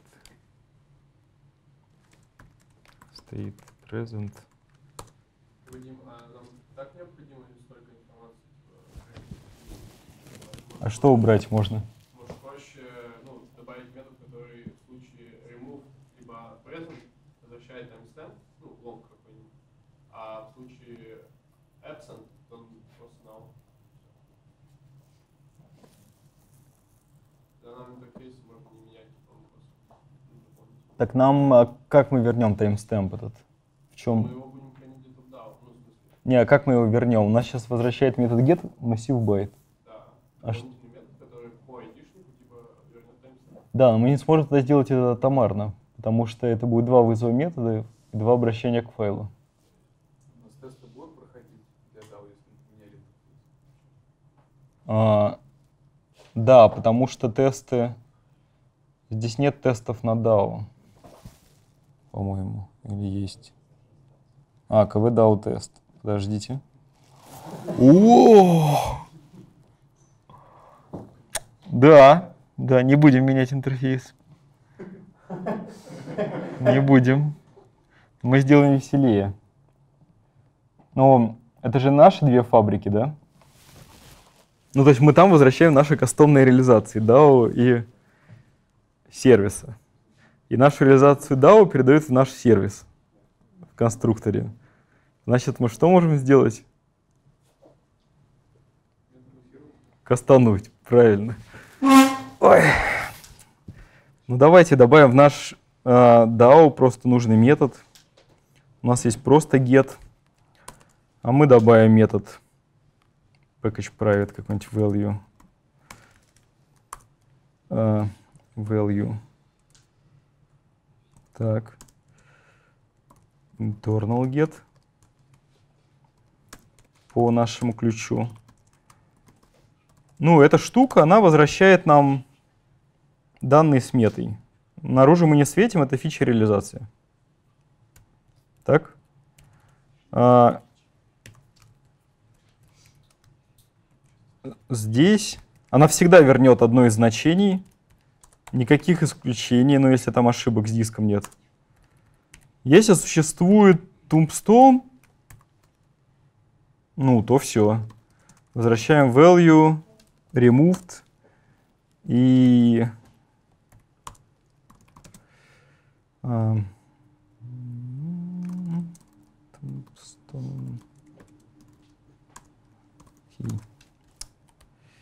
If tombstone get last А что нам вернет? Get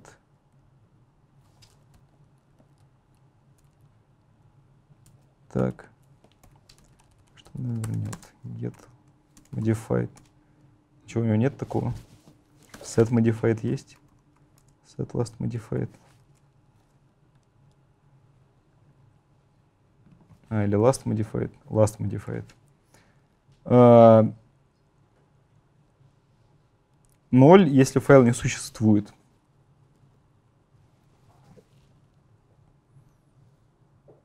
Окей. Если last modified больше нуля, значит у нас существует tombstone. А на самом деле, что вообще все было атомарно вот так. Timestamp. Tombstone. Last modified. Если timestamp больше нуля, то файл удален, и мы знаем когда.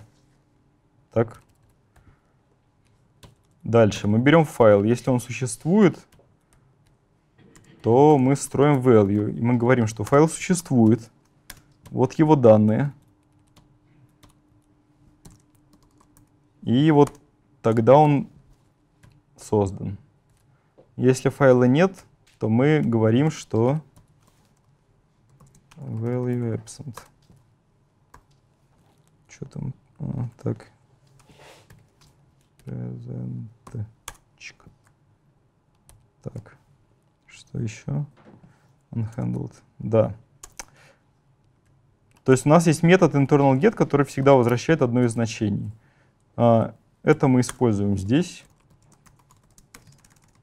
Value, value, no internal get key. If value state равно state present. Ой. А что тут не паблик? Так, этот value, он должен жить здесь явно. Это наша чисто внутренняя штука. Более того, это еще все package private. И это. Так. Упс. Так, если у нас present, то мы знаем, что вернуть. Мы возвращаем, собственно, данные. А в противном случае мы кидаем no such element exception. Вот. А get data мы сделаем так, что она всегда возвращает not null. А вот если данные равны нулю, null, то пользователь какую-то фигню творит. Он, значит, не проверил наше состояние и пытается вытянуть данные.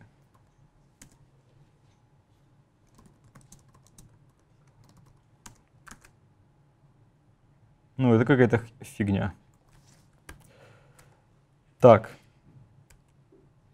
Ну что, у нас есть internal get. Как нам теперь его заюзать? Ну, вы понимаете, я раскопировал эти методы, чтобы вот стало очевидно, насколько тяжело три копии методов поддерживать. Не надо так делать.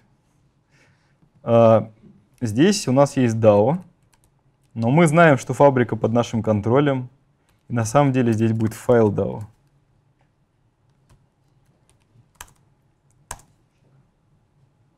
И вот там есть нужный метод. Круто, да? И вот его-то мы используем.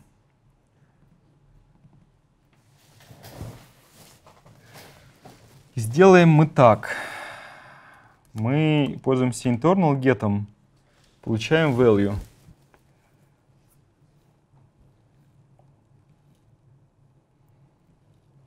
Ну и вот этот value нужно правильно передать через response. Понятно, что тело мы... Ну давайте, да. Угу. Да, так и сделаем. Давайте посмотрим, что же мы в итоге достали. Если у нас нормальные данные, то мы их передаем, но дописываем в header уже.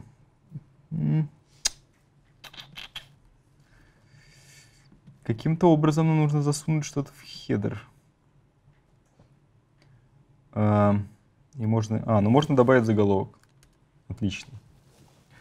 Мы засунем туда timestamp. Ой.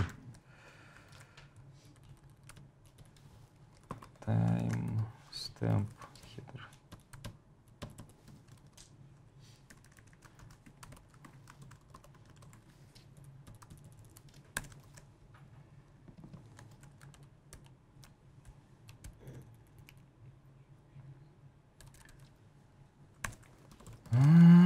Response, result. Мы создали. Нельзя в конструктор ему передать, поэтому придется делать так. Result. Add header timestamp плюс что? Data get timestamp.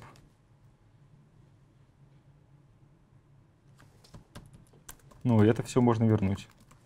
То есть, если у нас данные есть, мы вернем сами данные в качестве тела. Ну, не так, конечно. Вот так. Да, а, data get data. И добавим в timestamp заголовок. Ну и мы понимаем на, на координаторе, что если нам вернули 200, там будут данные, мы можем понять, насколько они свежие, используя этот заголовок. И возвращаем заголовок мы только прокси, клиент ничего не увидит.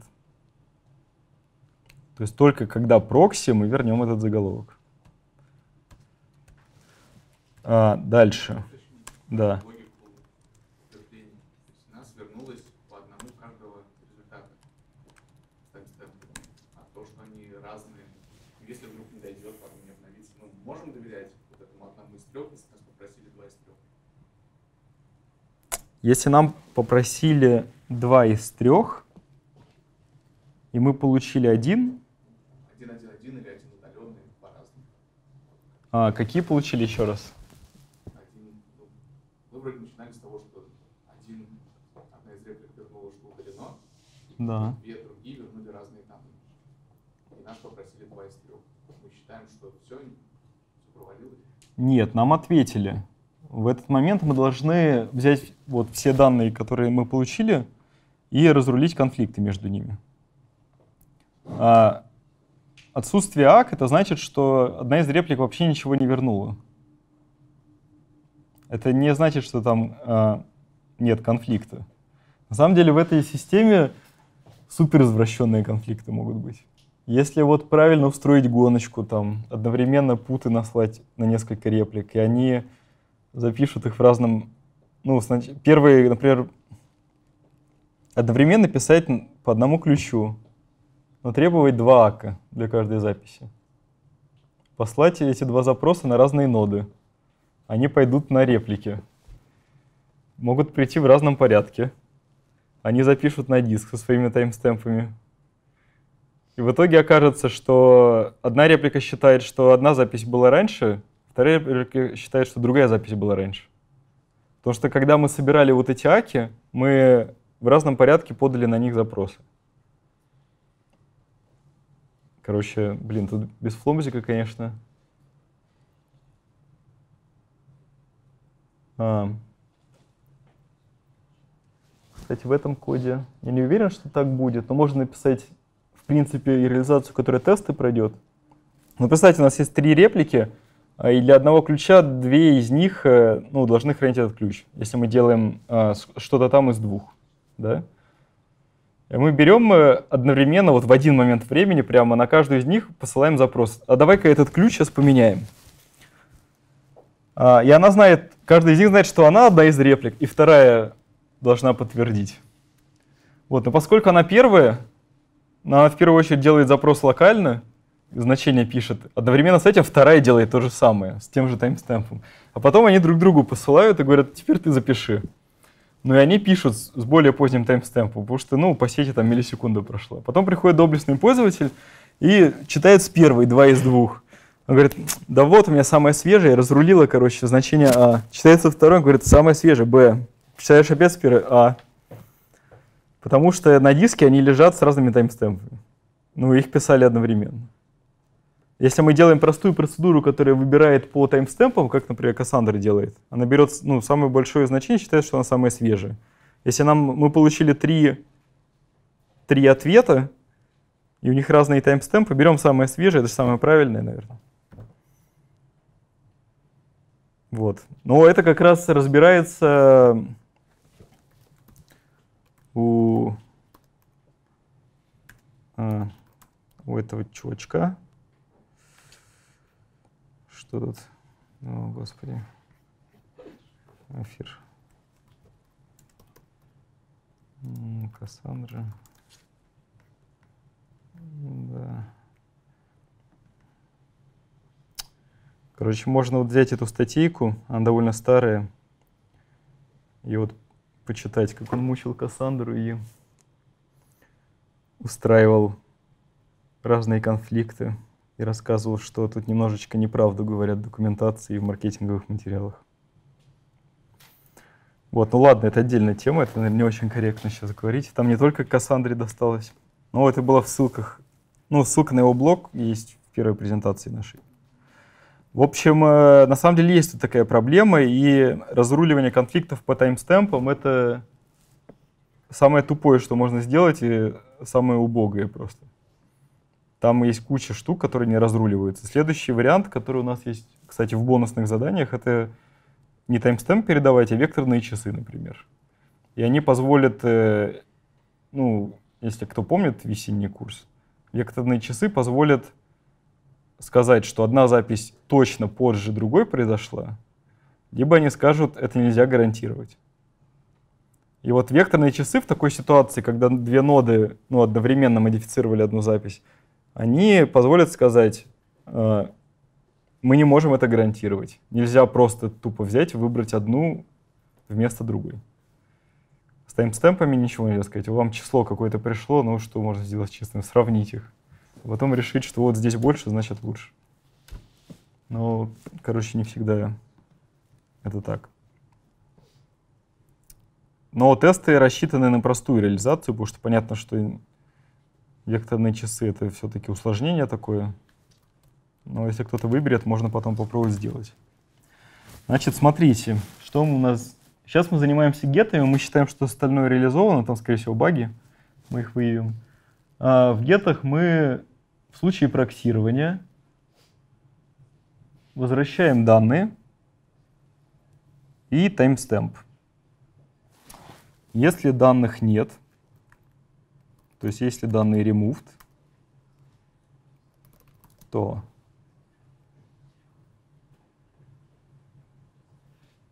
мы должны поступить так же. Только мы говорим, что эти данные... О, Господи. О. Вот это крутая джавовская фича, что это один скоуп.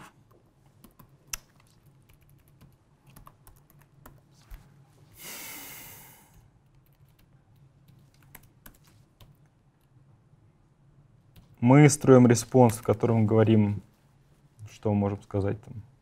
Ну, not found, наверное. Но при этом у нас есть timestamp. Ну, для координатора запросов это будет признак того, что данные удалены, потому что у нас их нет, но мы знаем, э, до какого момента они были. А если данные absent, э, absent то мы просто возвращаем response, что данных нет. Кстати, здесь у нас ошибка. Чего молчите-то? А, ну и никаких заголовков не будет. Понятно, что это можно закодировать иначе, и нормальные люди, они бы ну, использовали другие коды. То есть можно сказать там, что данные, что они там, moved, что-нибудь там permanently, или свой код завести, или еще что-то. Ну, потому что здесь что-то такая хилая конструкция на, на наличие какого-то заголовка. Но работать будет. Так вот, если мы говорим, что данные не найдены и не знаем, с какого момента они не найдены, то значит, в принципе, у нас на дисках ничего нет совершенно. А, что здесь еще не так? Ну, вроде норм. Вот. А,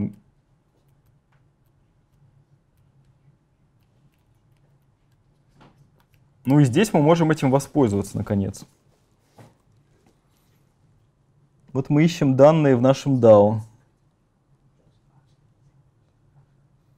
Давайте воспользуемся internal get. И будем собирать ответы реально от всех нод.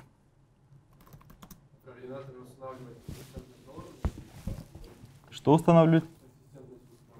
Да. Ну, это обязательная штука тут. Ну, то есть, э, например, ну, типичная ситуация, вы делаете, у вас три ноды в кластере, вы пишете на две, и оно записалось. На самом деле тесты хитрые, они иногда ваши ноды опускают, чтобы им пропустили запись, а потом поднимают. Ну, они проверяют вот поведение системы, когда пропущены какие-то запросы. Ну вот вы сделали запись на две из трех, но третья была опущена. Нет, давайте веселее. Вы сделали запись на две из трех, записалась на три, все круто. Потом третья что-то пропала куда-то. Сделали запись на две из трех, по тому ключу перезаписали. Но перезаписали на двух. Но третья это была в оффлайне. Потом она поднялась, ну делает чтение два из трех. Вот вы должны вернуть самую свежую запись. Ну Ну, восстановление это бонус. а, бонус. Да, потому что ну, восстановление по-нормальному, если делать, это вы обнаружили конфликт, выяснили, какую ноду надо чинить, нужно чинить, и большой вопрос, делать ли это в рамках текущего запроса, потому что вообще клиент хочет побыстрее ответ получить. То есть по-правильному там какой-то экзекьютор завести или пульчик, задачу запульнуть туда и там что-то послать. Ну, в принципе, это бонусная фича, тестами не, при- не проверяется, что конфликты... Ну, все поняли, о чем речь? Окей. Кто не понял? Что там нода, у которой тухляк, ей можно послать свежак, чтобы она починилась. А если придет, то тогда не стоит. Что? Если за это время обновилось, то не стоит. А, вот этот процесс, он как раз не такой тривиальный. Когда ей прислали свежак, она должна на диске проверить, нет ли там еще более свежего. И файлики в таком случае желательно создавать атомарно. Но файл можно создать атомарно, для этого примитив в Java есть. То есть создать, если его не существует. Если вам удалось его создать, то значит вы первый. Ну и вы можете туда свое значение записать. А если, по сути, параллельно идет гонка, и более свежее пришло, то стоит перепроверить, что там на диске оказалось. Ну, короче, вам прислали, сказали, чинитесь, вы пытаетесь томарно его создать, хоба, и видите, что кто-то уже это значение создал. Значит, возможно, чиниться уже не надо. А, так, значит, мы собираемся разруливать конфликты. Как это делать? Для начала надо собрать все значения, которые мы будем разруливать. Responses, new, что там? Любимый релист, ref, from. Ну, у нас их столько может быть. Мы добав... Ну, тут же, ну да, добавляем сюда. Это... А, что? Что? Что за фигня? Так. То есть мы берем наше значение из нашего сториджа. А, ну и вообще по уму надо сконструировать value из ответа удаленной стороны. Но вы видите ошибку здесь, да? На самом деле д- не только 202 это так, любой ответ это так. Главное, что не тайм-аут. Любой ответ это так. Мы получили response, и из этого response а вообще-то теперь надо value восстановить. То есть с учетом той логики есть заголовок, нет, какой код, мы должны построить нужный value. Эм, value from now final response response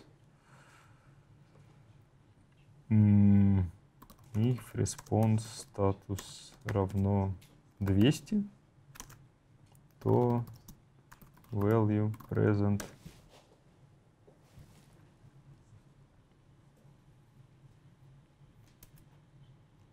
response get body response get header ух timestamp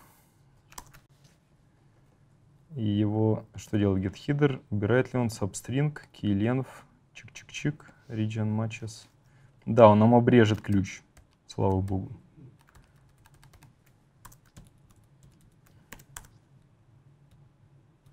Поэтому мы можем сделать integer parse int.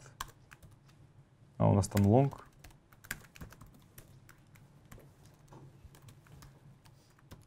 Parse. Так. Это если нам вернули нормальное значение. И понятно, что вот это все используется только при внутренних запросах с проксированием.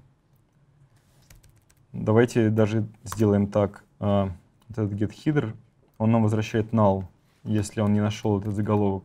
Ну, для 200 это невозможно. Ну, не должно такого быть. Мы внутри обращаемся к ноде, она нам обязана вернуть таймстемп. таймстемп.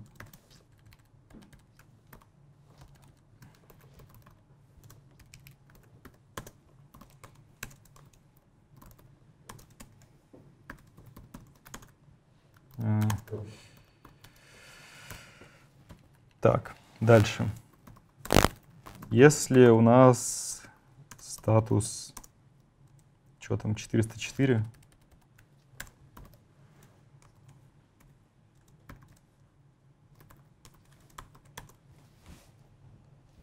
то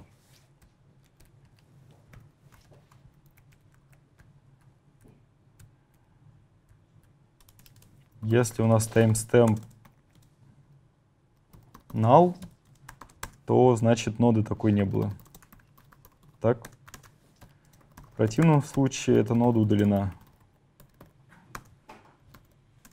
И мы делаем ту же петрушку. Parse timestamp. То есть значение value мы запихиваем в тело, в статус и в заголовок, и умеем из тела, статуса и заголовка его восстанавливать. И когда мы опрашиваем удаленные ноды, мы то, что достали, запихиваем в наши ответы. At responses. At, да что ж такое-то? From response. Так. Так. Так, тут что-то у нас не работает еще. Что? Чего? Где? А, ну если мы получили какую-то другую фигню, ой, если что мы могли получить 200,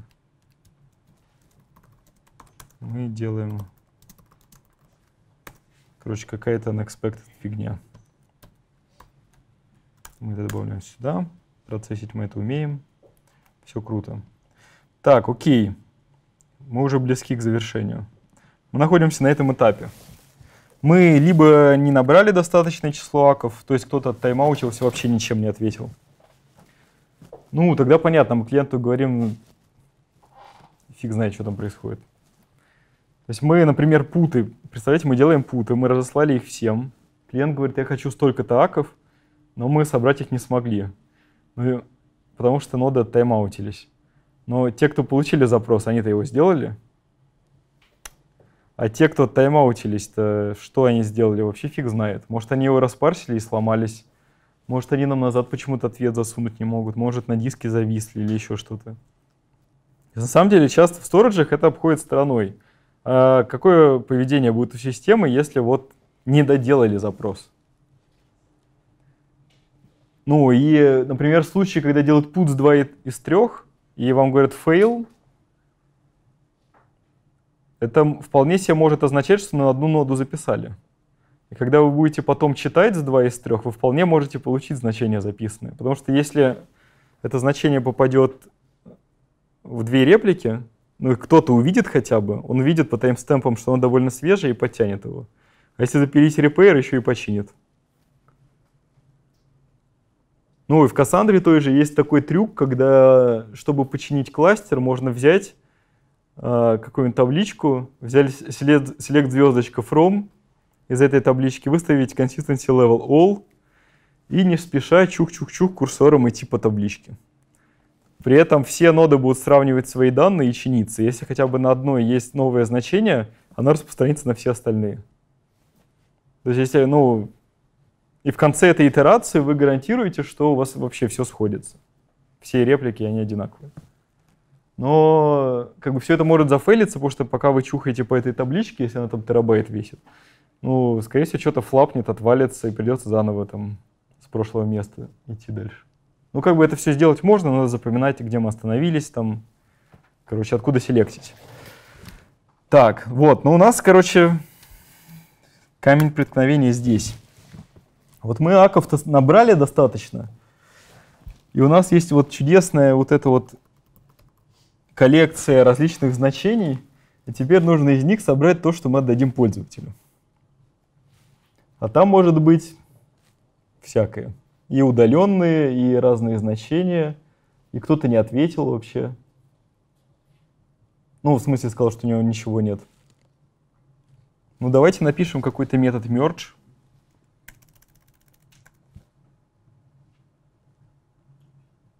Ну, кстати, тут явно можно порефакторить.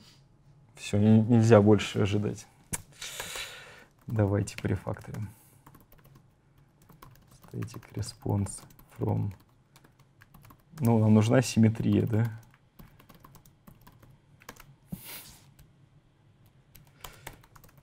То мы сейчас той же фигней заниматься будем. Так. Значит, у нас есть value, value мы хотим превратить в response, превратить в response. Делаем мы это так.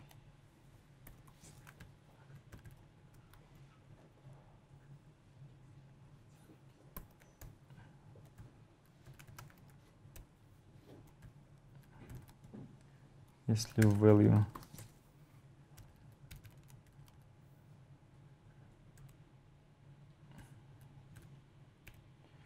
Вот, а здесь нормальные люди пишут как-то так. Потому что стейты, они имеют, ну и нам имеют свойство расширяться. И не хочется, чтобы в неучтенном случае мы ничего не делали.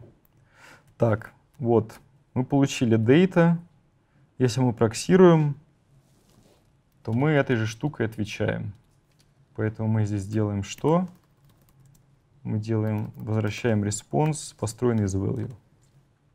Так. Короче, вот, два метода туда-сюда. Конвертировать умеем. Хорошо, возвращаемся. Мы накопили response ы, нужное количество, опросив все ноды. Вот мы их накопили. Теперь бы надо их взять и из всех них построить один response. Давайте сделаем напишем супер-мега метод merge.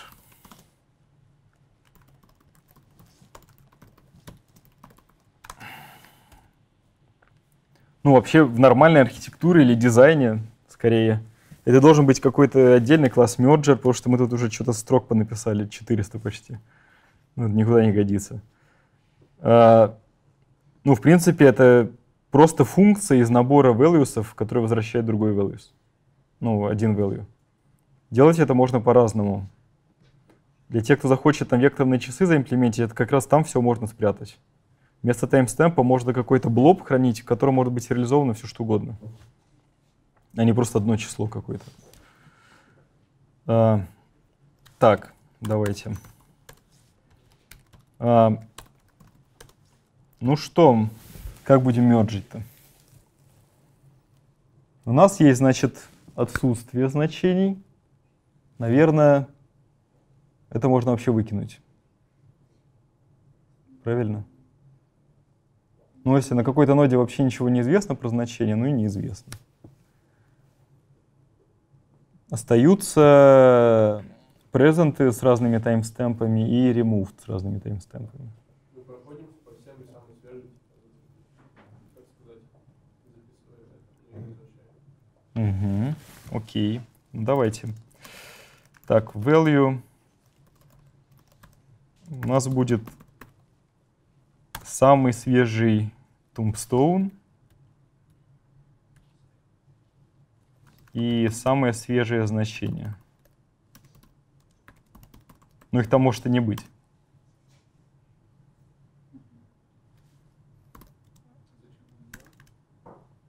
А потом мы сравним, кто из них свежее. Ну. У меня может в этом множестве могут быть значения различной свежести и удаления различной свежести. Так? Самое свежее удаление, значит, Они не самые свежие, главное, что это.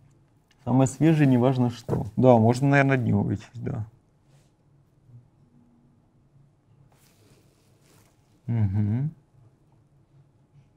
Ну, вообще нет. Потому что очень зависит от того, как мы там итерируемся. Ну, либо надо сначала отсортировать по таймстемпам, которых там может не быть, а после этого разобраться, кто из них последний. Но они здесь не отсортированы. Ну, представляете? Здесь мы с разных нот собрали какие-то values. Там таймстемпы вообще могут быть в любом порядке. Мы можем либо просто пройтись по ним и найти, ну, за n, и выбрать самое свежее значение, самое свежее удаление, либо мы берем все значения не absent, сортируем их по таймстемпу и берем самое последнее. Ну зачем нам n log n, когда можно за n сделать? Так? Кому непонятно? Ну, нам... Да? Ну, absent мы вообще выбрасываем. Нас интересует только removed и present. Но те, что значение существует, либо оно было удалено. И там, и там есть таймстемп. Ну, тогда что мы потеряем, если мы будем хранить, ну, нашли какой-то ремонт, идем просто перезаписываем, если таймстамп больше.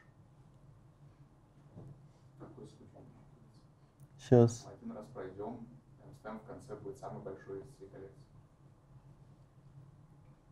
Проверяем, там, есть данные, нет, по типу. Есть. Да, таймстемп. Да, я согласен, вы правы. Давайте так. Ну, как мы сделаем? С тремозом. Value. Value get state. State. Что? State absent. Так.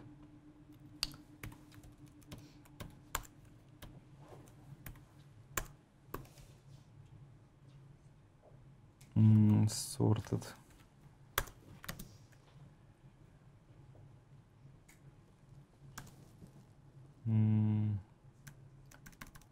Comparing, comparing long.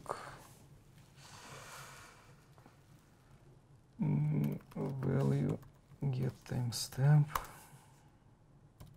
Сортировали. Берем что, Макс? А. В принципе, не надо сортировать. Да. И get or else.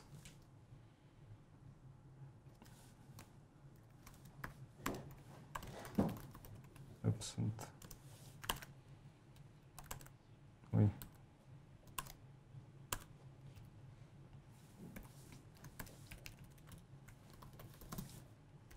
Так. То есть нас не интересуют эбсенты, интересуют все остальные. Мы выбираем из них максимальный по таймстемпу и его возвращаем. Либо возвращаем absent. Так. Ну, давайте заюзаем этот merge.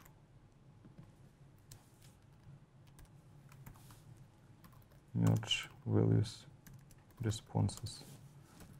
И вот этот value мы можем преобразовать к респонсу уже. Так. Ну что? Что-то тут куча у них каких-то ворнингов. Чего? Ну, давайте заменим, ладно. Чего еще-то? А, статус. Ну, ладно. Так. Вот какая-то адская реализация есть. Давайте тесты попробуем запустить.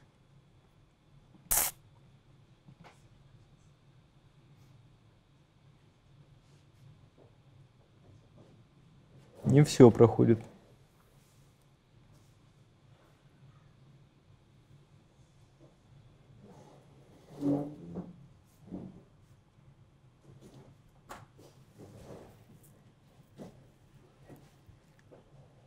Но, кажется, больше, да?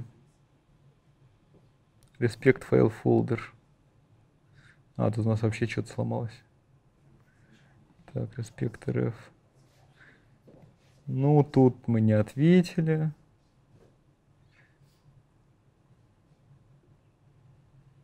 Абсерты.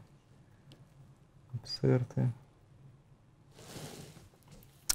Ну, давайте смотреть с этого теста.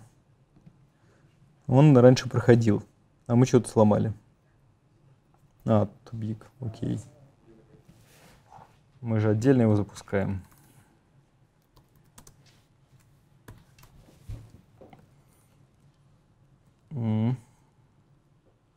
А, у нас что-то неправильно парсится теперь.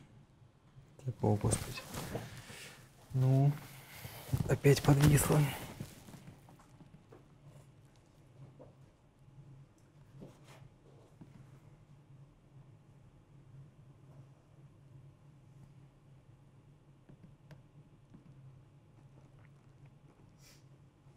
Так. Connect to localhost. М, мгм. Ну, пытаюсь сделать get. А, не смог подключиться к нашему серваку. В чем может быть дело? А, Дело может быть в том, что мы, конечно, написали наш API. А,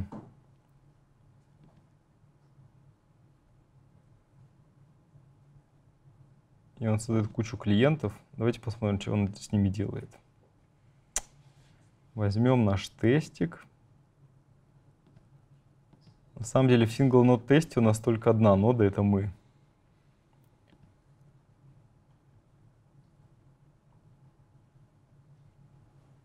У нас есть ноды.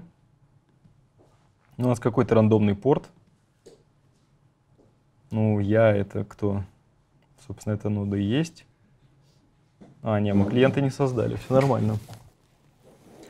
Клиентов никаких нет. В чем еще может быть проблема? Он быть, почему этот метод не юзаем? Почему?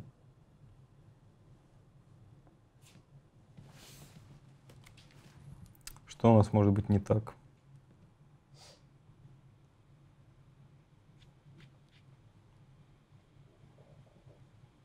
Есть идеи, где ошибка?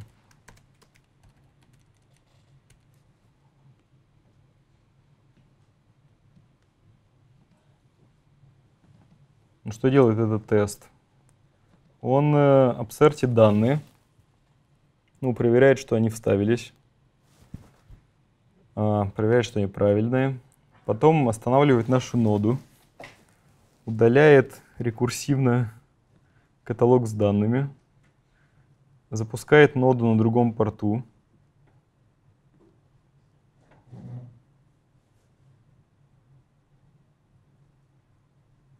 И проверяет, что данных нет.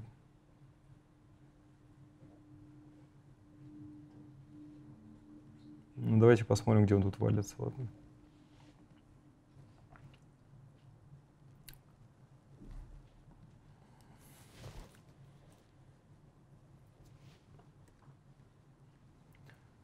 Абсерт. Не сработал абсерт.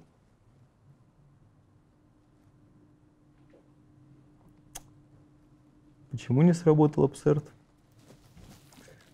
Абсерт у нас определяет, каким репликам нужно сходить.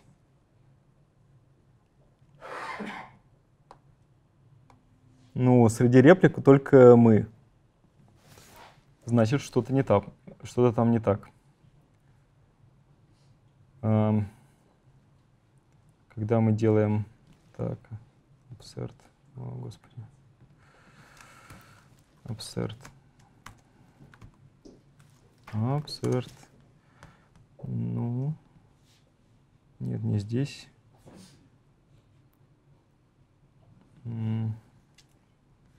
Так. Делаем проксит. И у нас нету заголовка.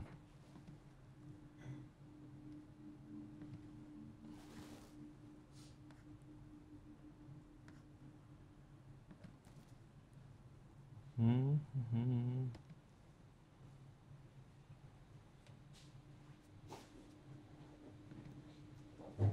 Ну.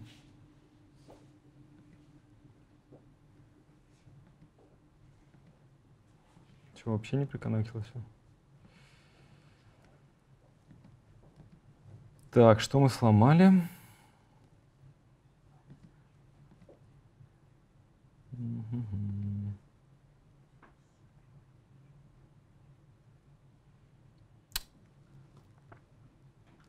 А Вот. Ну, мы не проксируем.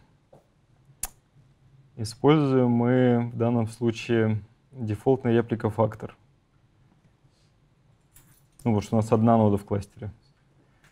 Ну, идем в absert. У нас там есть какой-то бади. Мы не проксируем.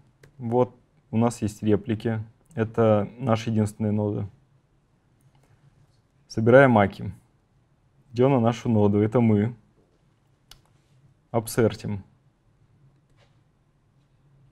Собрали один ак. Больше некому. Больше или равно? Да. Ну что, created.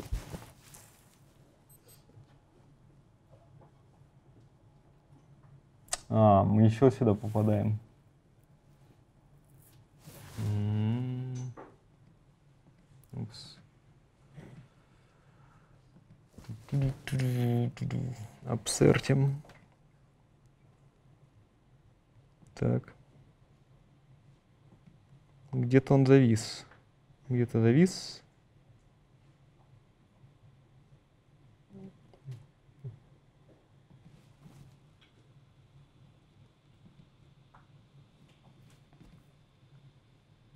А, не, сюда мы дошли.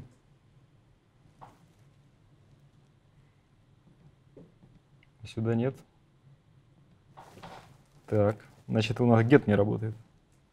А get у нас не работает, потому что он работает неправильно. Так, get мы делаем по ключу. Get. Что не так с get ом? Смотрим с самого начала. Get, get, if proxy.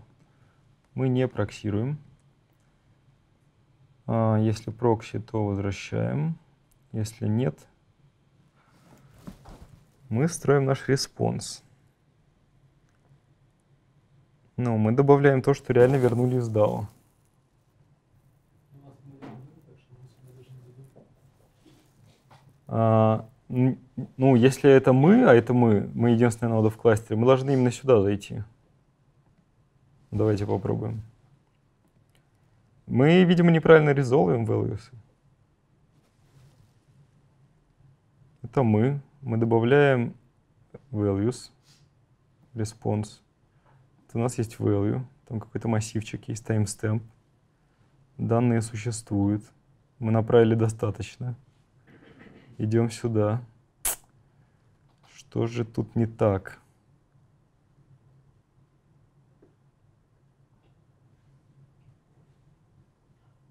И что мы отсюда возвращаем?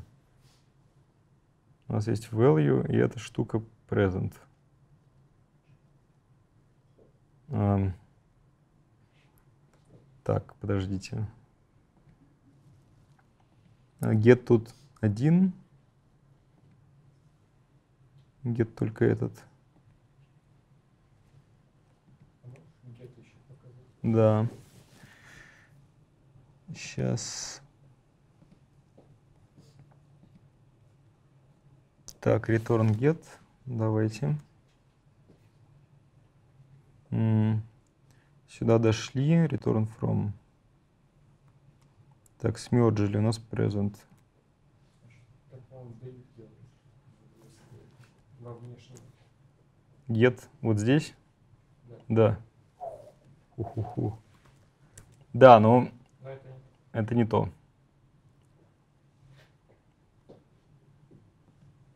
У нас вот этот код вообще не работает сейчас.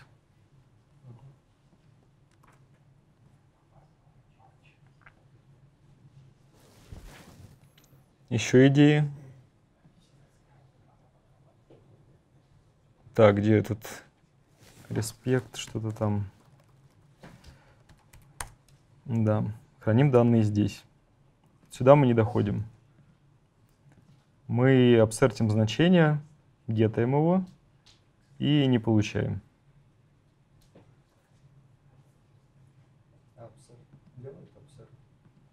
Observe делает. Мы можем даже сделать так. Сейчас. Мы можем пойти в этот файлик и посмотреть, что там лежит.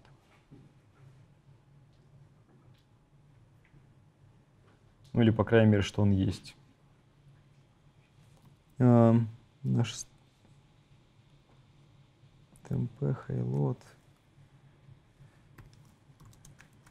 Что там? Ну, там есть какой-то файлик 36, 36, 63. Что это может быть? Но это похоже на это. Так ведь? Ну и там какое-то значение, этот файл размером, видимо, в килобайт. Ну да.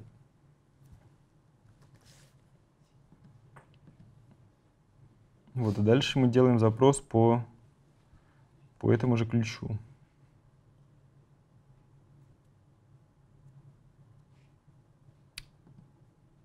И запрос этот мы сделаем. Ну, давайте еще раз. Мы идем сюда. Не проксируем. Реплики только наши. Тот же айдишник.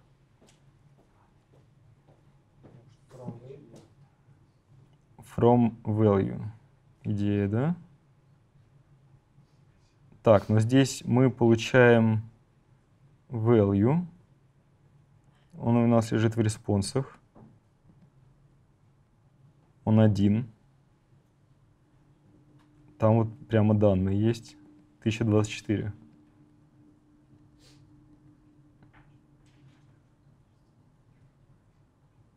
Ну, merge это у нас функция без сайд-эффектов. А. Сейчас. Вот она возвращает нам ту же штуку. From. Давайте посмотрим. 200 ок возвращает.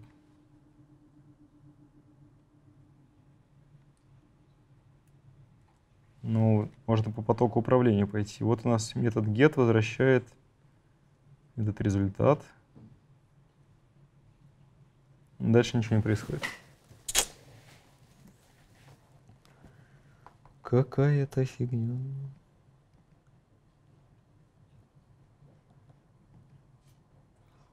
А там баги есть? Да, ну был. Сейчас. Кейс, return. Ду-ду-ду-ду. Давайте попробуем дернуть просто руками. Посмотреть, что будет.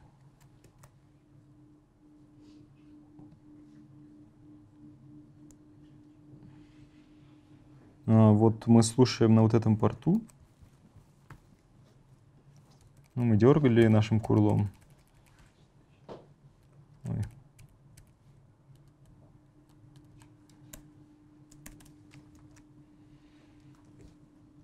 нам вернут.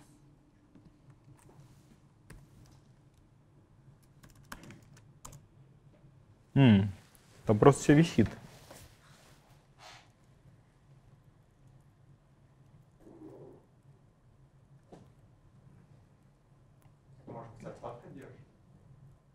Ну, там не один тред.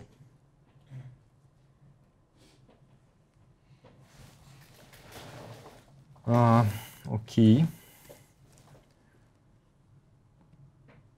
Хотя подождите, может у нас в гете? Не, ну вроде брейкпоинты больше нигде не сработали. А здесь есть? А, тут есть. Подождите. Может быть, вы правы. У нас еще здесь брейкпоинты остались. Так. Остановим только... э, только этот...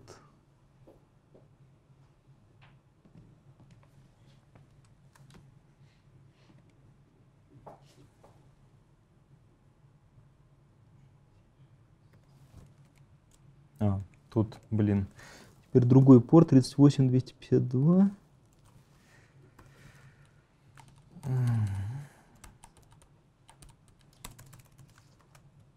Ох ты.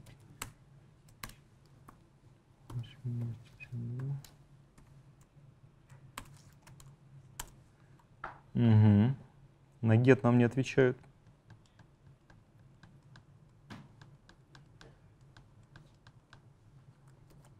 Окей. А, фишки. Скорее всего, потому что...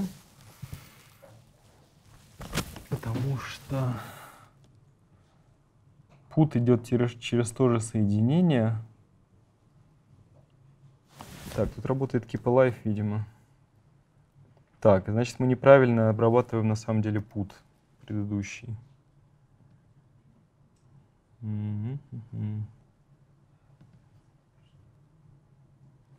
Так. Так, мы делаем absert. Сделали absert. И он нам что-то вернул. А когда мы делаем get, ну, здесь как раз апачевый клиент юзается, он использует то же соединение. То же соединение. На самом деле сервак из того же соединения у нас не читает сейчас. Ну, вот в этом клиенте почем тоже есть внутри пула, он переиспользует соединение. Наш ваниловый сервер не читает оттуда, потому что он мог, например, этот тред кинуть исключение после обработки пута. Так. Сейчас. Response, response. Так, когда мы делаем put, мы делаем absert. Request body. Возвращаем. Делаем absert. Когда... этом конструкторе надо, а не... В конструкторе Ну, ты возвращаешь не респонс в обсервер, а конструктор там такой. Такой. Просто помню, там было ванила эти инты для статус кода. А, нет, для методов. Да, для методов. Так, мы делаем absert, но мы бы увидели print stack trace. Чу-чу-чу-чу. Его там не было. А, и мы сказали created Empty. empty. Create это, это что? Ну, мы говорим, что мы положили. Нет, это absert. Мы смотрим на А, absert. Сейчас гипотеза, что у нас absert завалился какой-то фигней. Ну, завершился некорректно. И это соединение, оно в каком-то странном состоянии. И через него же делают следующий get клиентам в тесте. Так, а в логах у нас ничего нет, да? Сейчас. Что? Ну, это не то, но там, по-моему, ты в обсерве где делаешь по именно внешне. когда.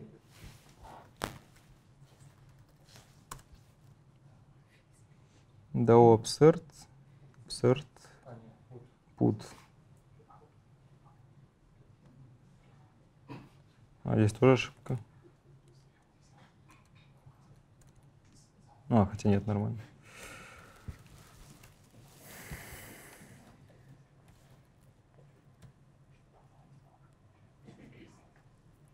То есть мы 201 там получили.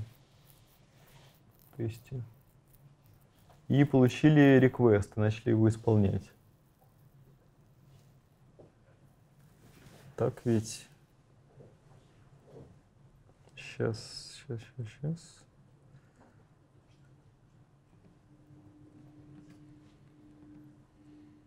Так.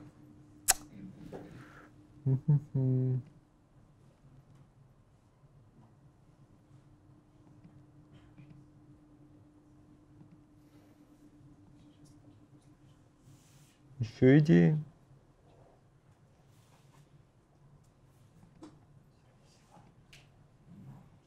Ну, до, до гетто мы добрались.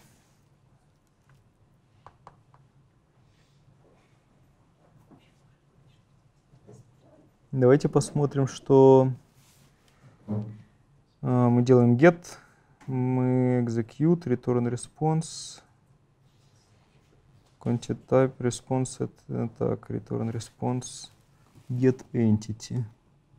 Здесь мы, видимо, ждем. Response hint равно true. Так. А в MyAPI мы не проксируем. Ля-ля-ля. Положили. From. Return. Так. А, а дальше? Что-то все зависло. М.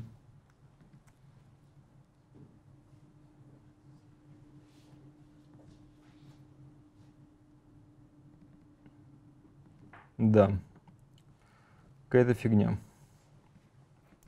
Ну ладно, в следующий раз я вам расскажу, в чем причина засора.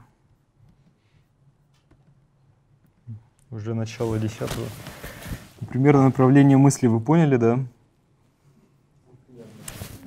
А, ну, я могу показать вам готовую реализацию, которая проходит тесты. Чтобы вы понимали, что мы уже совсем рядом.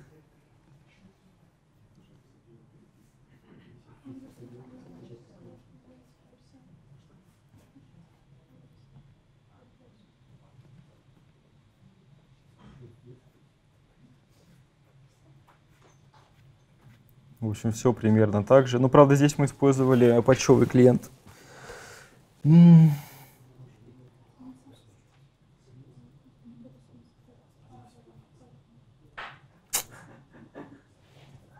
вот, вот этого хочется достичь, да. Ну, клиента патчевый работает примерно так же все. Мы считаем маки, общаемся с соседними репликами, собираем ответы. Ну, в наших гетах мы э, ну, также собираем ответы и, блин, где мы, ну и мерджим также их. В общем, примерно та же логика. Можно написать рабочую реализацию, а с ванил клиентом я посмотрю, что там. Я думаю, где-то провисли соединение просто. Ну, следующего занятия у нас не будет. Встретимся мы через две недели. И это будет, я думаю, еще один практический, ну, скорее всего, практический семинар про вот этот этап, потому что у вас будут вопросы точно.